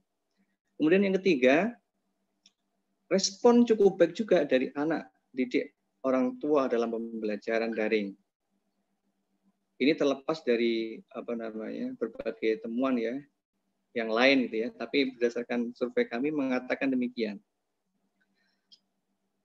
Kemudian berikutnya dari situ kita juga mengetahui bahwa ternyata guru-guru kita, orang-orang tua kita, anak-anak kita nggak tahu ya apakah karena satu bulan ini sudah terbiasa dengan uh, pembelajaran daring kemudian mereka sudah sudah memiliki uh, sudah terbiasa kemudian uh, kemudian bisa mengikuti pembelajaran daring ini atau karena faktor yang lain akan tapi kita mengetahui bahwa ya dengan adanya pandemi ini memaksa kita untuk untuk apa namanya untuk mengikuti uh, pembelajaran dengan kondisi yang darurat sehingga harus memanfaatkan semua sumber daya sehingga pembelajaran tetap bisa dilaksanakan. Nah, kaitannya dengan bagaimana harus cerdas berteknologi di masa pandemi ini, paling tidak saya mengusulkan lima hal yang bisa dilakukan oleh stakeholders PAUD, gitu ya. apakah itu guru, apakah itu orang tua, apakah itu anak didik ya terkait dengan tantangan-tantangan yang saya sampaikan di awal presentasi tadi. Seperti apa orang yang cerdas berteknologi atau seperti apa profil guru yang cerdas berteknologi atau seperti apa orang tua yang cerdas berteknologi di masa pandemi ini menurut saya paling tidak yang pertama adalah satu uh, tidak menggunakan perangkat teknologi apakah sosial media atau yang lain untuk menyebarkan hoax atau berita-berita yang tidak benar. Kemudian yang kedua, mengoptimalkan teknologi untuk meningkatkan kesejahteraan. Ini menarik saya pikir gitu ya, yaitu dengan uh, technopreneurship atau dengan content creator, membuat konten-konten kreatif yang bisa di uh, apa namanya, yang bisa diupload di sosial media, apakah YouTube atau Facebook atau Instagram dan lain sebagainya. Ini satu satu apa namanya ya satu hal yang bisa kita lakukan pada masa ini gitu ya masa sekarang ini untuk mengoptimalkan eh, perangkat teknologi itu dalam rangka untuk meningkatkan kesejahteraan. Kita tahu bahwa dengan adanya teknologi perkembangan teknologi dan informasi sekarang ini bahkan anak-anak pun itu bisa memiliki penghasilan yang cukup besar. Kita tahu ada sekian anak di Indonesia yang uh, memiliki apa namanya penghasilan luar biasa melalui uh, menjadi youtuber. Kemudian juga teknopreneurship. Saya pikir banyak sekali guru-guru PAUD itu ya yang selain pekerjaan utamanya adalah memberikan uh, mengajar itu juga menggunakan teknologi itu untuk meningkatkan kesejahteraan misalnya dengan uh, apa namanya membuka toko-toko online dan lain sebagainya. Dan saya kira itu adalah positif untuk meningkatkan atau mengoptimalkan teknologi informasi.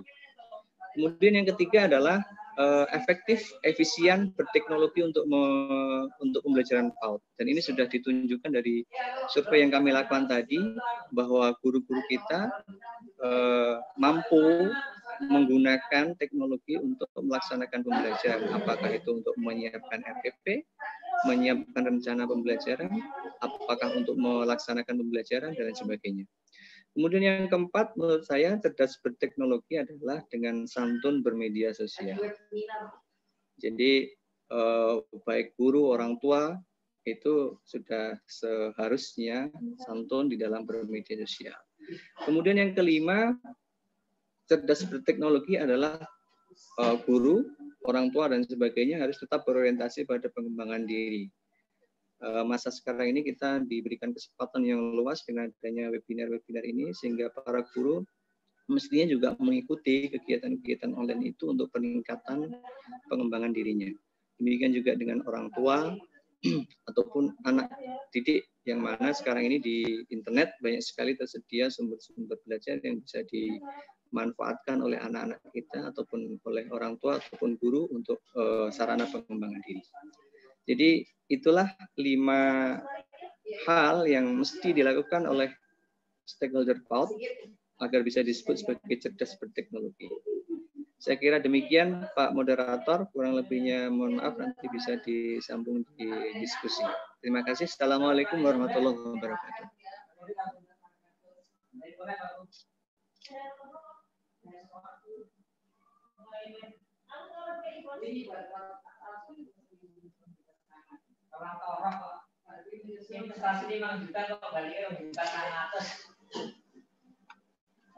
Terima kasih kepada Bapak Dr. Sigit yang telah memberikan pencerahan-pencerahan wawasan kepada kita semua. Dan dari apa yang beliau paparkan, saya menangkap bahwa 66% persen pada hakikatnya orang tua kita telah merespon dengan baik pembelajaran online atau daring. Berarti para guru PAUD cukup cerdas dalam berteknologi termasuk orang tua juga ya. Maka seperti apa semestinya orang tua yang cerdas berteknologi? Beliau memaparkan ada lima aspek tadi. Cuma pada kesimpulannya saya menyampaikan tiga hal saja. Bahwa setiap orang tua tidak boleh menyebarkan berita-berita hoax yang tentunya ini akan menambah stres masyarakat. Dan kemudian Para orang tua juga harus efektif dalam dalam untuk pembelajaran Dan guru dan orang tua tetap fokus dalam rangka pengembangan diri. Baiklah Bapak-bapak, Ibu-ibu, enci-enci dan puan-puan sekalian, selanjutnya kita kepada narasumber yang kelima, yaitu Ibu Dr. Nur Hasanah Bakhtiar MAG, Beliau lahir di Kota Tengah, Rokan Hulu pada tanggal 14 Mei 1973. Beliau sehari-hari adalah dosen tetap di UIN Suska Riau dan beliau menjabat sebagai Ketua Program Studi Pendidikan Islam Anak Usia Dini periode 2019-2022. Kualifikasi pendidikan beliau yang terakhir adalah program doktoral di UIN Sultan Sarip Kasim Riau pada tahun 2018. Beliau juga memiliki segudang karya ilmiah berupa buku, jurnal, dan bidang penelitian. Di antaranya adalah peran orang tua dalam membina karakter anak soleh sebagai upaya mewujudkan masyarakat madani menuju visi Riau 2020. Karya beliau yang, yang lain adalah Tokoh Pendidikan Islam dalam Lintasan Sejarah yang diterbitkan oleh penerbit Firdaus tahun 2020. Dan beliau juga menjabat dan menjadi pengurus di banyak organisasi sejak tahun 2006 sampai 2023. Baiklah, Bapak Ibu Enci-enci dan puan-puan, saudara-saudara di mana pun berada, kita berikan waktu dan kesempatan kepada narasumber kita, kepada Ibu Dr. Nur Hasan Habaktiar MAG, dipersilahkan.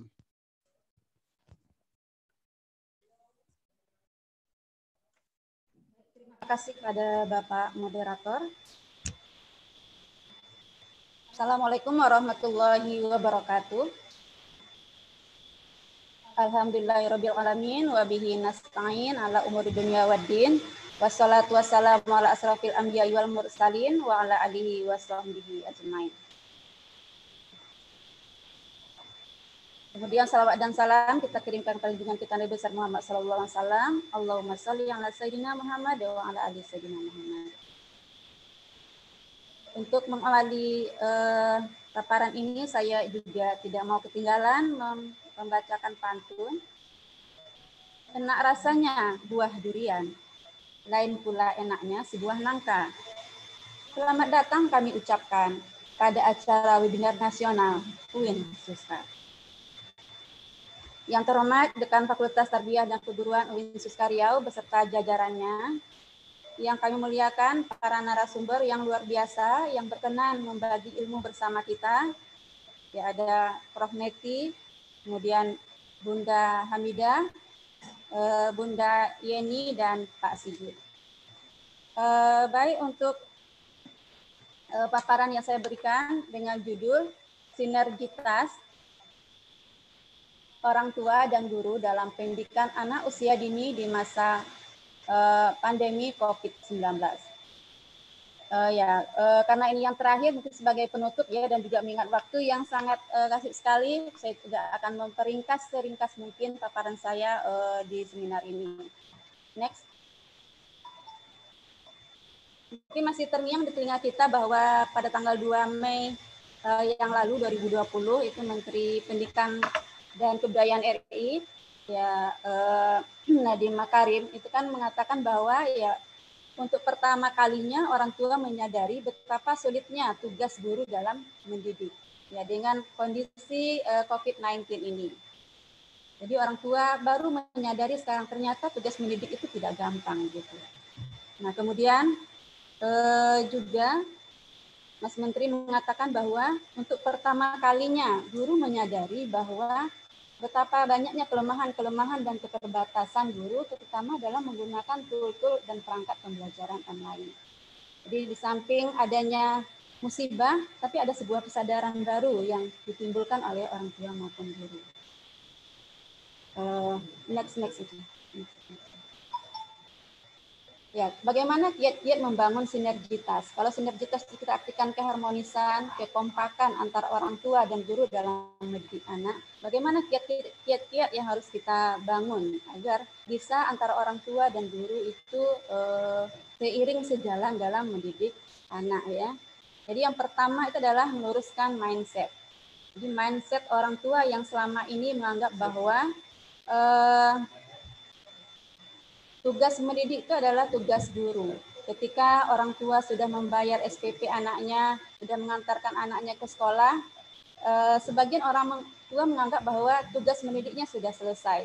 100% diserahkan kepada guru. Maka mindset ini harus diluruskan kembali. Kalau ada orang tua yang beranggapan seperti itu, bahwa tugas mendidik itu adalah tugas bersama. Kalau kita ingat kembali ada trilogi pendidikan itu orang tua, sekolah dan lingkungan dan masyarakat itu adalah sama-sama bertanggung jawab terhadap pendidikan anak.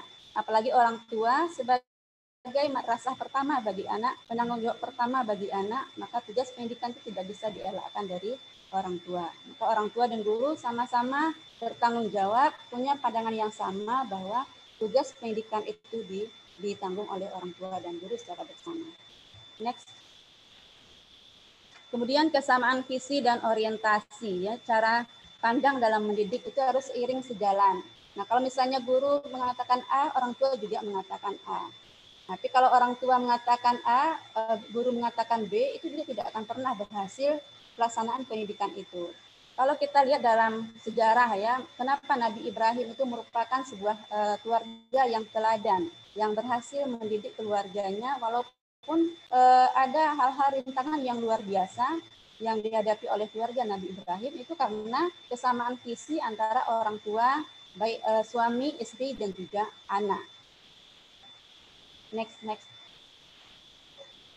Ya, dalam contoh keluarga Nabi Ibrahim tadi ada dua kasus besar ya yang dihadapi oleh Nabi Ibrahim eh, dengan kesamaan visi itu bisa dilaluinya. Pertama ketika Nabi Ibrahim itu diperintahkan Allah untuk meninggalkan Siti Hajar dan uh, Ismail di lembah yang tidak ada orang sama sekali, tidak ada makanan sama sekali. Coba bisa kita bayangkan bagaimana perasaan seorang suami meninggalkan istri yang dicintainya dan anak yang dicintainya. Kemudian perasaan seorang istri juga yang ya dalam kondisi lemah harus ditinggalkan oleh suami tanpa ada seorang pun yang bisa membantunya. Nah, tapi itu bisa diatasi ketika Hajar bertanya kepada Nabi Ibrahim, apakah ini perintah Allah? Ketika Ibrahim mengatakan ini perintah Allah, maka kata Hajar, tinggalkan kami di sini karena kami akan dilindungi oleh Allah. Jadi orientasinya itu adalah mendapatkan keridhaan Allah, melaksanakan perintah Allah, ya semuanya bisa berjalan dengan baik. Demikian juga dengan kasus yang kedua yang di uh, alami oleh Nabi Ibrahim ketika diperintahkan sebelumnya tadi. Nah, diperintahkan menyembelih anaknya Ismail itu kan pilihan yang sangat berat sekali.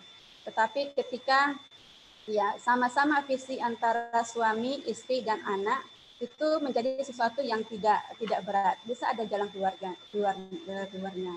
Nabi Ismail yang walaupun dia harus disembelih tapi dia rela dan mengatakan pada ayahnya, "Wahai ayahku, kerjakanlah. Kalau itu memang perintah Allah, engkau akan mendapatiku sebagai orang-orang yang sabar. Demikian juga seorang istri, seorang ibu yang seharusnya kan tidak pernah rela ketika anaknya disembelih. Tapi karena itu adalah perintah Allah, ya dan dia yakin kalau melaksanakan perintah Allah, Allah akan selalu memberi pertolongan. Dan memang ya akhirnya yang yang disembelih oleh Nabi Ibrahim kan bukan anaknya Ismail, tapi diganti dengan seekor kibas. Tapi itu adalah ujian keimanan ya apakah mereka sanggup melalui uh, ujian-ujian itu atau tidak. Nah, kemudian uh, yang ketiga, bagaimana tadi untuk me melaksanakan uh, sinergitas itu adalah menjalankan komunikasi yang efektif ya antara orang tua, guru dan anak. Itu harus ada komunikasi yang efektif. Dalam Al-Qur'an itu komunikasi komunikasi itu ada beberapa istilah. Yang pertama itu adalah istilah kaulan sadida. Kaulan sadida itu adalah perkataan yang benar.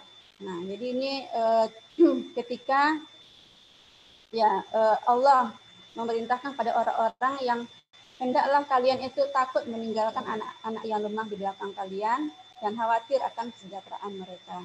Oleh sebab itu, ya hendaklah eh, mereka mengucapkan perkataan-perkataan yang benar. Jadi yang pertama sekali eh, cara mendidik anak itu adalah perkataan yang benar ya kaulan sadida. Jadi secara materi harus benar, harus jujur, tidak ada yang salah di situ.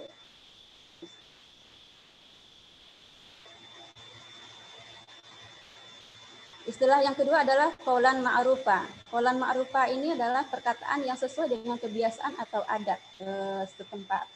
Jadi jangan kita berkomunikasi dengan seseorang yang tidak bisa dipahami oleh orang dan tidak uh, biasa didengar oleh seseorang. Yang selanjutnya, lanjut terus. Next, next. Terus ada istilah kaulan baligho. Eh, sebelumnya. Sebelumnya. Sebelumnya. Oh, ya. Kaulan baligho, kaulan baligho, uh, ini balik itu artinya kan sampai. Nah, uh, kaulan baligho ini adalah dalam cara menyampaikannya, retorika yang baik dan kefasihan.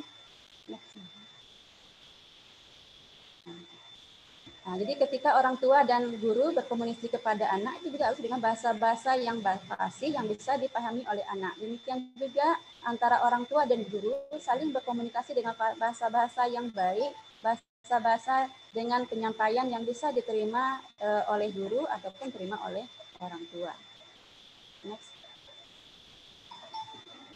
Nah, yang terakhir adalah kaulan maisuro. Ada istilah kaulan maisuro juga dalam Al-Quran itu. Ini terdapat dalam surah Al-Isra ayat 28. Nah, uh, kaulan maisuro ini adalah perkataan yang mudah dipahami juga, ya, yang mudah dipahami dan jika kamu berpaling dari mereka untuk memperoleh rahmat dan dari Tuhanmu, yang kamu eh, yang kamu harapkan, maka katakanlah kepada mereka ucapan yang pantas. Sudah, next ya. Ada istilah kaulan karima lagi. Kalau kaulan karima ini khusus kepada orang yang kita hormati, perkataan yang mulia. Nah, ketika Al-Quran memerintahkan anak untuk berkata kepada orang tua, nah itu diungkapkan dengan perkataan kaulan karima. Jadi ada eh, kata-kata penghormatan dan kemuliaan di sana. Next. Next. Next. Ya. Kemudian kiat-kiat berikutnya adalah saling menghargai dan mendukung. Kemudian saling tenggang rasa dan saling pengertian. Ya, ini antara orang tua dan guru. Jadi harus saling juga menjaga bagaimana perasaan guru, bagaimana perasaan orang tua. Dalam Islam itu juga dikatakan bahwa tidak beriman salah seorang kamu sampai ia mengasihi saudaranya seperti mengasihi dirinya sendiri. Atau dengan kata lain, ya guru juga harus memposisikan ketika dia jadi orang tua betapa sulitnya mendidik anak. Demikian juga guru eh, orang tua juga memposisikan dirinya kalau menjadi guru ya juga sulit untuk mendidik. Itu saling memposisikan diri sehingga akan timbul adalah rasa saling pengertian dan tenggang rasa. Next. Nah, Kemudian yang harus dijauhi ini adalah uh, jauhi buruk sangka atau negative thinking atau istilah agamanya adalah suuzon. Karena suuzon inilah buruk sangka yang banyak menggiring eh, orang-orang uh, itu kepada permusuhan. Ya, karena kalau kita sudah berburuk sangka kepada seseorang, apa pun yang dilakukan oleh orang itu tidak ada baiknya. Nah, maka dalam Islam itu anjuran untuk berbaik sangka. Dalam Al-Quran surah Al-Hujarat ayat 12 itu dikatakan, Ya ayyuhallazina amanu jitanibu katsiran minaz-zon inna ba'da zanni ismun wala tajassasu. Wahai orang-orang yang beriman, jauhilah buruk sangka. Sesungguhnya buruk sangka itu adalah dosa. Jangan kamu mencari-cari kesalahan orang lain. Nah, ini e, dari Al-Quran menganjurkan kepada kita semua jangan berburuk sangka. Jadi dalam membina sinergitas antara orang tua dengan guru, tidak boleh saling berburuk sangka, tapi yang harus dibina adalah berbaik sangka. Kemudian kiat yang berikutnya jangan memberi janji yang tidak yakin akan dipenuhi. Nah, tidak memberi janji palsu ya kepada anak karena akan mengakibatkan anak tidak percaya kepada orang tua atau guru. Jadi ketika berjanji kepada anak, orang tua harus menepati janjinya karena itu adalah sebuah pembelajaran bagi bagi anak terhadap apa yang dilakukan oleh orang tua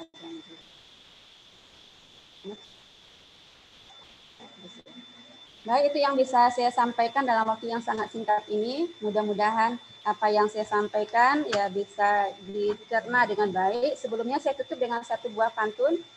Mari kita membaca Al-Quran agar kelak dapat syafaat. Webinar nasional sudah kita laksanakan, semoga dapat dipetik manfaat. Ya, bila taufiq wa hidayah. Wassalamualaikum warahmatullahi wabarakatuh.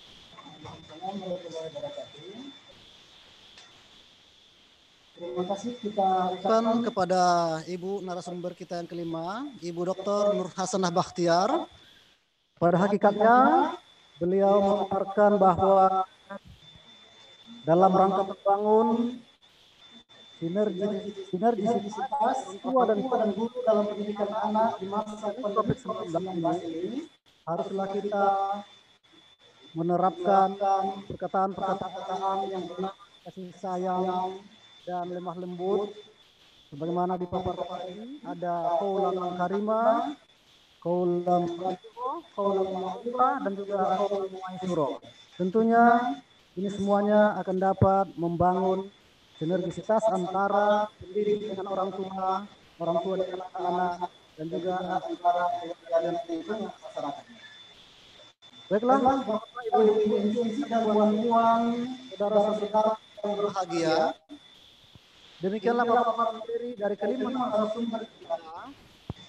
Dan kepada pada partisipan silahkan mengajukan pertanyaan. Kami akan seleksi pertanyaan dari Zoom meeting dan dari live streaming YouTube. Dan kita buka sesi ini dalam waktu 15 menit ya. Untuk Sesi pertama, silakan bagi yang akan bertanya, silakan melambaikan tangan. Silakan, Bapak Ibu sekalian.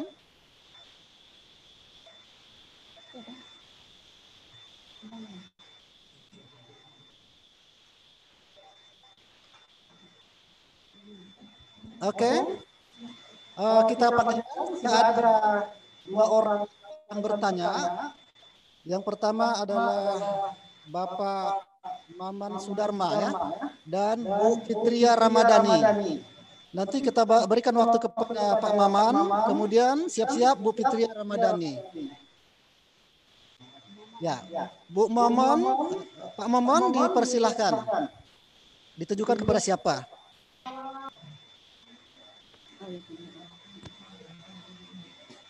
Masih di unmute nih. Assalamualaikum warahmatullahi wabarakatuh. Waalaikumsalam. Pertanyaan pertama ke Bu Nur Hasanah. Oh saya Momon, Momon Sudarma dari Mandua Kota Bandung, Jawa Barat. Dari Mandua Kota Bandung, Jawa Barat. Pertanyaan ke Bu Nur. Kalau tadi kan mengutip kisah Ibrahim, Bu. Nah, salah satu karakter Ibrahim itu, Nabiullah Ibrahim itu ketika dia pencarian Tuhan, ketika dia ketemu dengan bulan, kemudian dia berani Pala maro al kamara bazigan qala hadza rabbi. Kemudian pala maro al syamsa kemudian bazigata hadza rabbi. Saya menerjemahkannya itu adalah bahwa Nabi Ibrahim punya kebebasan berpikir. Nah, pertanyaan sekarang adalah eh, apakah kebebasan berpikir ini juga nanti cocok untuk konteks pendidikan anak usia dini? Itu. Karena nanti kalau misalnya melihat sejarah Ibrahim sih kan dia bisa hadarobi ke bulan, hadarobi ke bintang, ke matahari segala macam. Ini kan karakter kebebasan berpikir. Nah persoalannya adalah di hadapan anak PAUD seperti apa. Kemudian untuk uh, yang lain ke narasumber yang lain juga itu kita hari ini daring itu sebenarnya di lingkungan PAUD itu kan sebenarnya karena pandemik. Kalau disebutkan sebuah musibah mah musibah. Gara-gara musibah pandemik ini kemudian kita dipaksa untuk daring pertanyaan dasarnya adalah apakah untuk tingkat PAUD eh, daring ini sudah cocok? Bukankah anak usia di anak PAUD ini adalah usia yang harus ada komunikasi intens ya dengan orang tua secara fisikly? Nah, terus bagaimana kalau misalnya mereka dikembangkan atau dibesarkan secara teknologi IT seperti hari ini? Apakah ini tidak berdampak panjang secara untuk perkembangan sosial psikologi anak gitu? Kalau untuk anak SMP, SMA atau perguruan tinggi, oke okay lah, daring adalah sesuatu yang sebut sajalah relevan dan proporsional. Nah, untuk anak usia dini seperti ini, ini uh, gimana? Saya kebetulan punya istri juga yang di PAUD. Nah, itu kelihatannya malah yang disibukkan itu kebetulan kalau hari ini kan orang tuanya juga ada di rumah. Akhirnya kemitraan antara orang tua, guru dengan anak itu harus terjalin. Bayangkan kalau misalnya pandemi sudah selesai, apakah daring ini masih relevan untuk konteks pendidikan PAUD? Karena orang tuanya sudah berangkat kerja.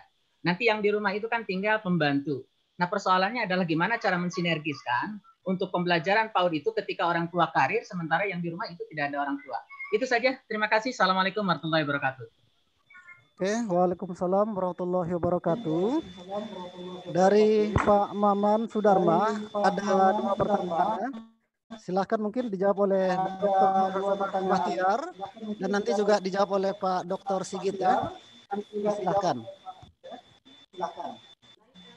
Ya, baik, eh, terima kasih Pak Momon yang sudah menanggapi dari Mandua ya, Mandua? Bandung. Eh, Bandung. Bandung ya, Mandua Bandung. Ya, eh, kalau Bapak tanyakan tadi diambil dari apa ya kasus Nabi Ibrahim, apakah itu sebuah kebebasan berpikir yang juga bisa diterapkan pada pendidikan anak usia dini? Nah, kalau kita lihat eh, kebebasan berpikir yang dialami oleh Nabi Ibrahim itu adalah kebebasan berpikir yang tertuntun gitu. Tertuntun dengan apa? Dan dituntun oleh fitrah. Fitrah yang sudah diberikan oleh Allah sejak manusia itu belum lahir ke dunia ini, masih dalam rahim itu manusia diberi fitrah oleh Allah. Fitrah untuk bertuhan, untuk mengesahkan Allah, untuk mencari uh, untuk uh, mencari Tuhan hanya kepada Allah, tidak bertuhan pada selain Allah. Maka fitrah itulah yang sangat tumbuh dalam Nabi Ibrahim sehingga dalam proses mencari Tuhan walaupun pada masanya itu semua orang menyembah berhala bahkan bapaknya sendiri juga membuat berhala tapi Nabi Ibrahim tidak terperangkap di dalamnya. Tapi dia justru uh, lebih lebih menonjolkan kepada fitrah fitrah adalah ketauhidan dalam bertuhan tadi. Maka ya memang ada kebebasan berpikir di situ, tapi kebebasan berpikir, kebebasan berpikir yang tertuntun, yang dituntun oleh ya karena Nabi Ibrahim adalah calon nabi, tentu dituntun oleh wahyu oleh Allah. Nah, bagaimana bagaimana penerapannya dengan anak usia dini? Nah, juga seperti itu. Ya, terhadap anak-anak kita tidak boleh ya memaksa. Misalnya apalagi pokoknya tidak boleh. Kalau kata-kata pokoknya itu memang anak tidak bisa berkembang. Tapi ya kita beri kebebasan kepada anak, kebebasan juga e, tertuntun. Nah, kalau itu membahayakan anak seperti tadi yang dijelaskan oleh Bunda Neti, kalau berbahaya bagi anak, ya tentu kita harus betul-betul mengawasinya. Tapi selama itu tidak berbahaya bagi anak, Eh, bisa mengembangkan kreativitasnya, kita berikan kebebasan itu kepada anak. Tapi ketika sudah agak melenceng, ada bahaya di sana, maka kita beri tuntunan-tuntunan dan arahan-arahan agar apa yang dilakukan anak itu lebih lebih berpola lagi. Mungkin itu Pak yang bisa saya sampaikan. Terima kasih. Oke, terima kasih kepada Ibu Dr. Nur Hasanah Baktiar.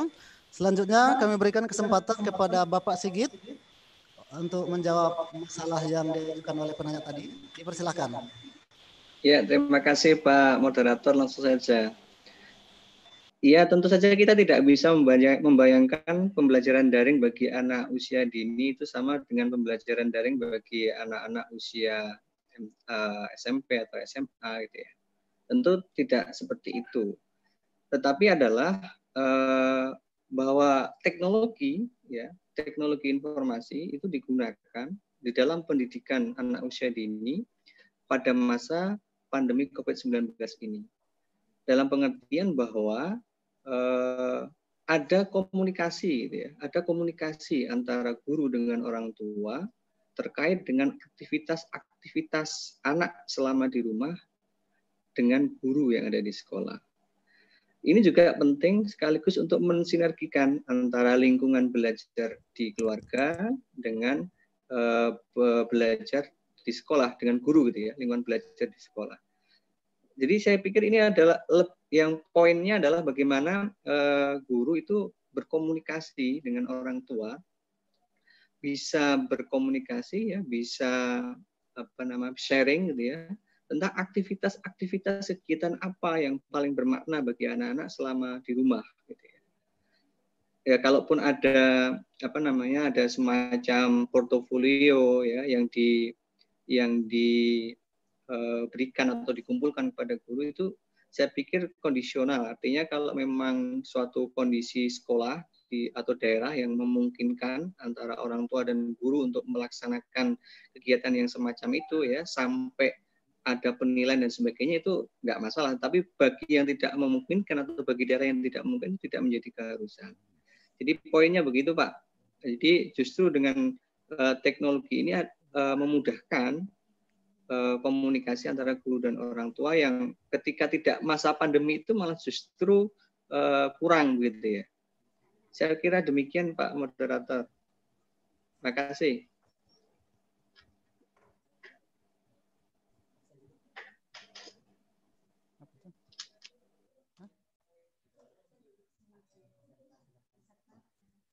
Ya, baik Bapak Ibu sekalian.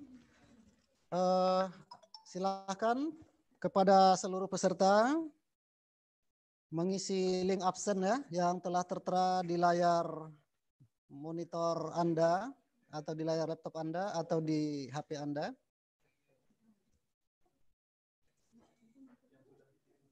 Yang sudah dikirim melalui email ya. Bapak Ibu sekalian, silahkan. Oke. Oke, terima kasih kepada Bapak Dr. Sigit yang telah memberikan pencerahan terhadap pertanyaan dari Bapak Momon tadi. Mungkin ada dari narasumber lain Bapak Ibu? Mungkin dari Prof. Prof. Neti? Bu, halo? Ya. Oke, okay, baik. Oke. Okay. Oke, tadi ada beberapa pertanyaan saya ingin uh, menjawab karena pertanyaannya cukup bagus. Izinkan saya untuk share dulu sedikit. Oke. Boleh dibuka share-nya? Saya ingin me mengajak teman-teman untuk uh, berdiskusi ter terkait dengan uh, PAUD from home. Oke. Okay. Baik. Uh, saya tadi menjelaskan bahwa sebenarnya seorang anak itu belajarnya setiap detik. Jadi kalau terjadi sambungan, maka seharusnya seharusnya pendidikan itu dilaksanakan di ketiga tempat ini. Jadi saat anak berada di lembaga, dia mendapatkan pendidikan, saat di keluarga dia mendapat pendidikan, di lingkungan dia mendapatkan pendidikan. Jadi sebenarnya COVID ini mengajarkan kepada kita bahwa antara rumah dengan lembaga PAUD itu tersambung kurikulumnya, tersambung kegiatannya. Maka eh, pertanyaannya adalah apakah daring itu baik buat anak-anak? Jadi begini, prinsip pembelajaran pendidikan anak usia dini itu adalah aktif, kemudian ada pendampingnya. Itu yang paling baik. Tetapi biasa mengatakan bahwa orang yang anak yang tidak didampingi tetapi diberikan materi yang berkualitas, kondusif, maka sebenarnya dia juga akan bisa belajar secara mandiri. Dan saya punya pengalaman untuk itu. Uh, artinya saya dulu adalah ibu rumah tangga yang berangkat subuh-subuh pulangnya malam. Jadi saya pakai teori Piase ini. Siapkan Eh, lingkungan kondusif, maka anak akan belajar dengan mandiri. Nah, terus berikutnya adalah pertanyaan tentang uh, daring itu baik tidak untuk anak. Terkait uh, kalau dia bersifat media digital, itu hanya boleh satu jam bersama anak. Daring yang kita lakukan atau PAUD from home secara daring kita lakukan ini bukan kita kemudian anak itu melalui televisi bukan, tapi adalah orang jadi misalnya kita guru mengirimkan kepada orang tua perencanaan yang akan dilaksanakan, lalu kemudian nanti orang tua bersama anak melakukan pemilihan mana yang dia mau mainkan, apakah mengikuti itu atau dia punya ide seperti yang teman-teman lihat.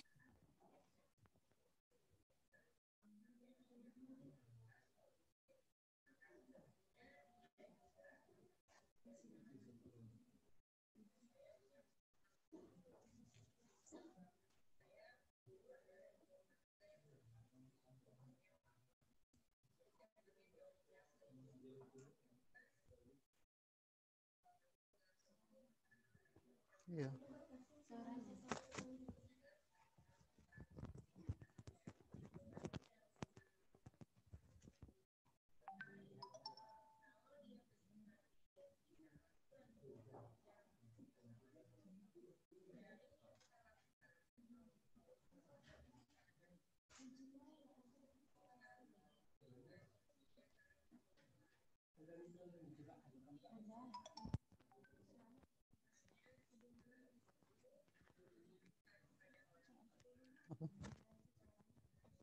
Halo, halo Bunda.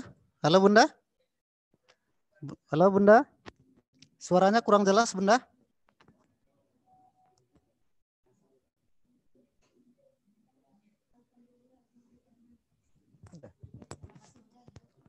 Ah, terima kasih kepada Bunda Profesor Dr. Neti Herawati MSI. Selanjutnya, uh, ini karena keterbatasan waktu ya, kepada Bu Fitria Ramadhani, Terpaksa pertanyaan Bu Fitria kami uh, pending karena waktu kita cukup mendesak dan kita mau ambil satu pertanyaan dari chatting ya.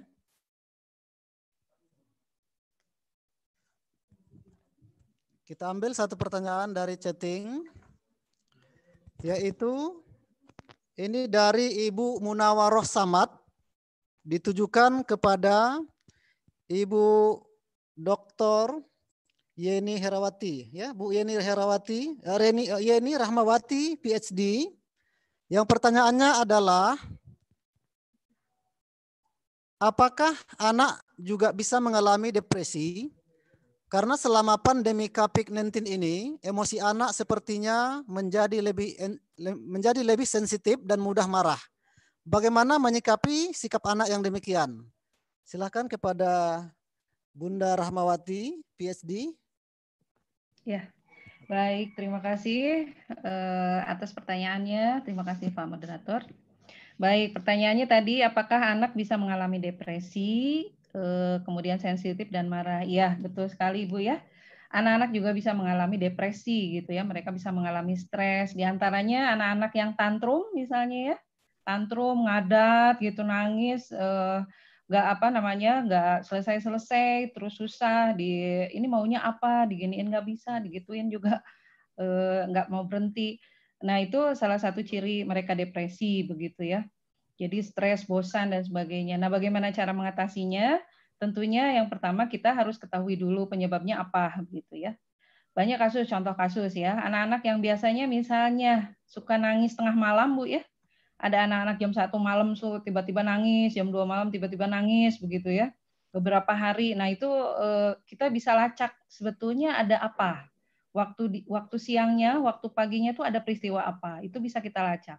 Biasanya karena anak usia dini itu beda dengan orang dewasa, mereka tidak mudah mengekspresikan perasaannya, mereka merasa tidak nyaman, tidak enak, disimpan saja di hati, lalu tiba-tiba yang muncul adalah tadi seperti itu tantrum gitu ya ngadat nangis rewel seperti itu.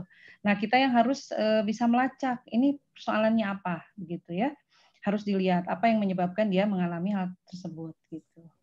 Jadi ya banyak e, apa penyebabnya. Bisa karena kecewa gitu ya. Dia kecewa oleh temannya dia bosan e, dia merasa tidak nyaman. Nah itu e, ciri-cirinya misalnya dia menolak nggak mau belajar, nggak mau uh, baca buku misalnya ya kalau sekarang uh, lagi sekolah di rumah ini tidak mau mengikuti apa yang disarankan oleh ibu gurunya.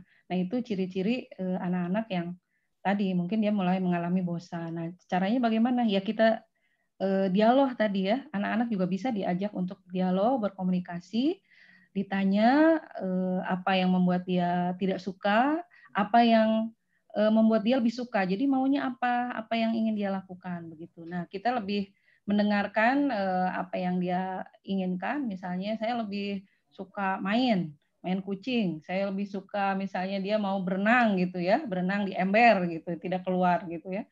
Uh, ya itu gitu. Kita bisa memperhatikan dari apa yang dia sukai. Itu bisa sedikit merilis stresnya gitu, Bu. Mungkin itu yang bisa saya sampaikan. Ya, moderator terima kasih. Oke. Terima kasih kami sampaikan kepada Bunda Yeni Rahmawati PhD. Mungkin ada tambahan dari Bunda Hamidah Sulaiman PhD. Dipersilahkan. Bismillahirrahmanirrahim. Uh, soalan pertanyaan tadi mengatakan uh, adakah apa ni anak usia dini juga bisa stres? Ya, bisa ya sebab apa uh, mereka ini juga manusia yang punya hati dan perasaan. Jadi mereka ini memang mudah uh, mendapat stres kerana sikap mereka kebiasaan mereka itu bermain. Tapi kalau dihalang bermain selalunya sebelum uh, uh, lockdown ini mereka dibawa ke taman-taman permainan.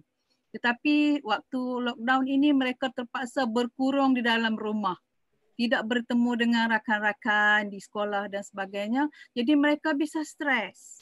Jadi apa yang perlu kita buat sebagai orang tua uh, seperti uh, Bu Yeni tadi menerangkan bahawa kita mencari puncanya apa uh, mengapa jadi begitu dan sekiranya uh, mereka uh, menerangkan mereka mau saya mau main saya mau apa ia diajak bermain dan mesti diberi panduan kerana anak-anak ini Uh, masih lagi tidak boleh memikirkan apakah permainan itu berbahaya kepada mereka atau sebagainya.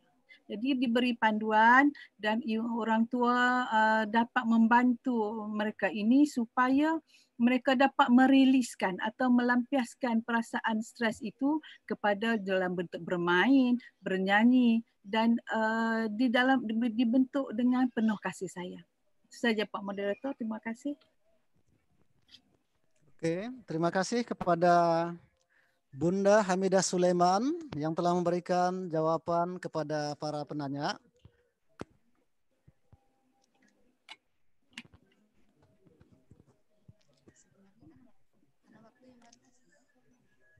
Dan karena keterbatasan waktu kita dan tentunya kami yakin dan percaya bahwa banyak sekali pertanyaan-pertanyaan yang sudah ada dan akan diajukan oleh para peserta yang tentunya semua pertanyaan Bapak Ibu sekalian tidak dapat kami jawab satu persatu.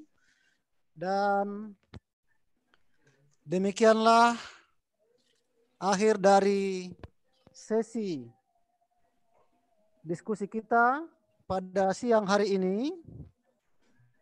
Dan sebelum saya mengembalikan kepada MC, saya ingin berpantun sedikit. Mencari kayu di tengah hutan, kayu didapat sedari petang. Terima kasih saya ucapkan untuk hadirin yang sudah datang. Jalan-jalan ke Kuala Lumpur, singgah sebentar ke rumah Hamidah Sulaiman. Para speaker telah selesai bertempur, mudah-mudahan membawa kenangan. Kalau pergi ke Yogyakarta, jangan lupa teleponlah Sigit Purnama. Hatinya periang dan gembira, semoga Anda dibawa ke rumahnya. Kota Bandung, kota kembang, banyak bunga mekar di taman. Bu Rahmawati orangnya tenang, presentasinya membuat peserta tenang. Kalau ada sumur di ladang, bolehlah kita menumpang mandi. Kalau ada umur kita panjang, lain waktu kita bersua kembali. Assalamualaikum warahmatullahi wabarakatuh. Saya sebagai moderator mohon maaf atas segala kehilapan, mohon ampun kepada Allah Subhanahu wa taala dan saya kembalikan kepada MC kepada Ibu Nur Kamalia Mukhtar dipersilakan. Baiklah, terima kasih kepada narasumber kita yang luar biasa pada hari ini. Karena melihat waktu yang sudah pas ya, pukul 12 lewat 17 ini.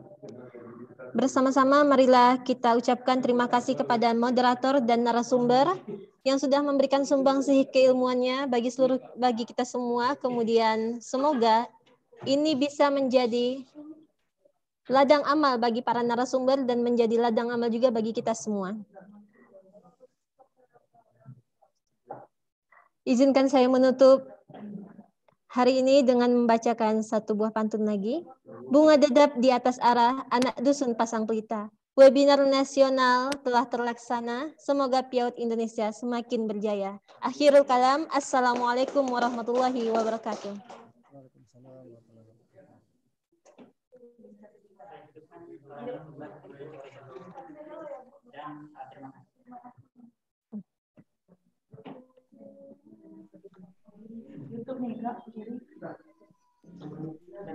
Oke, Bapak Ibu, uh, terima kasih banyak ya. Uh, Prof. Neti masih bersama kita.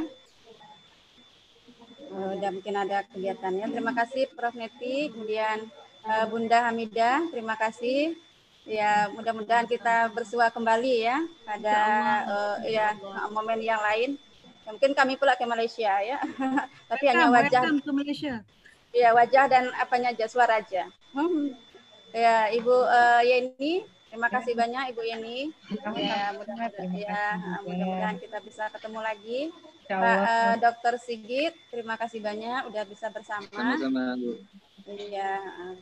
Kemudian para peserta uh, yang luar biasa ini banyak uh, bersama kita. Terima kasih atas kebersamaan Bapak Ibu. Mudah-mudahan apa yang telah kita diskusikan bersama bisa kita ambil manfaatnya dan bisa kita aplikasikan dalam kehidupan kita sehari-hari, terutama Bapak Ibu yang masih mempunyai uh, anak balita. Dan juga bisa juga untuk anak-anak yang sudah besar juga, karena bisa juga diaplikasikan.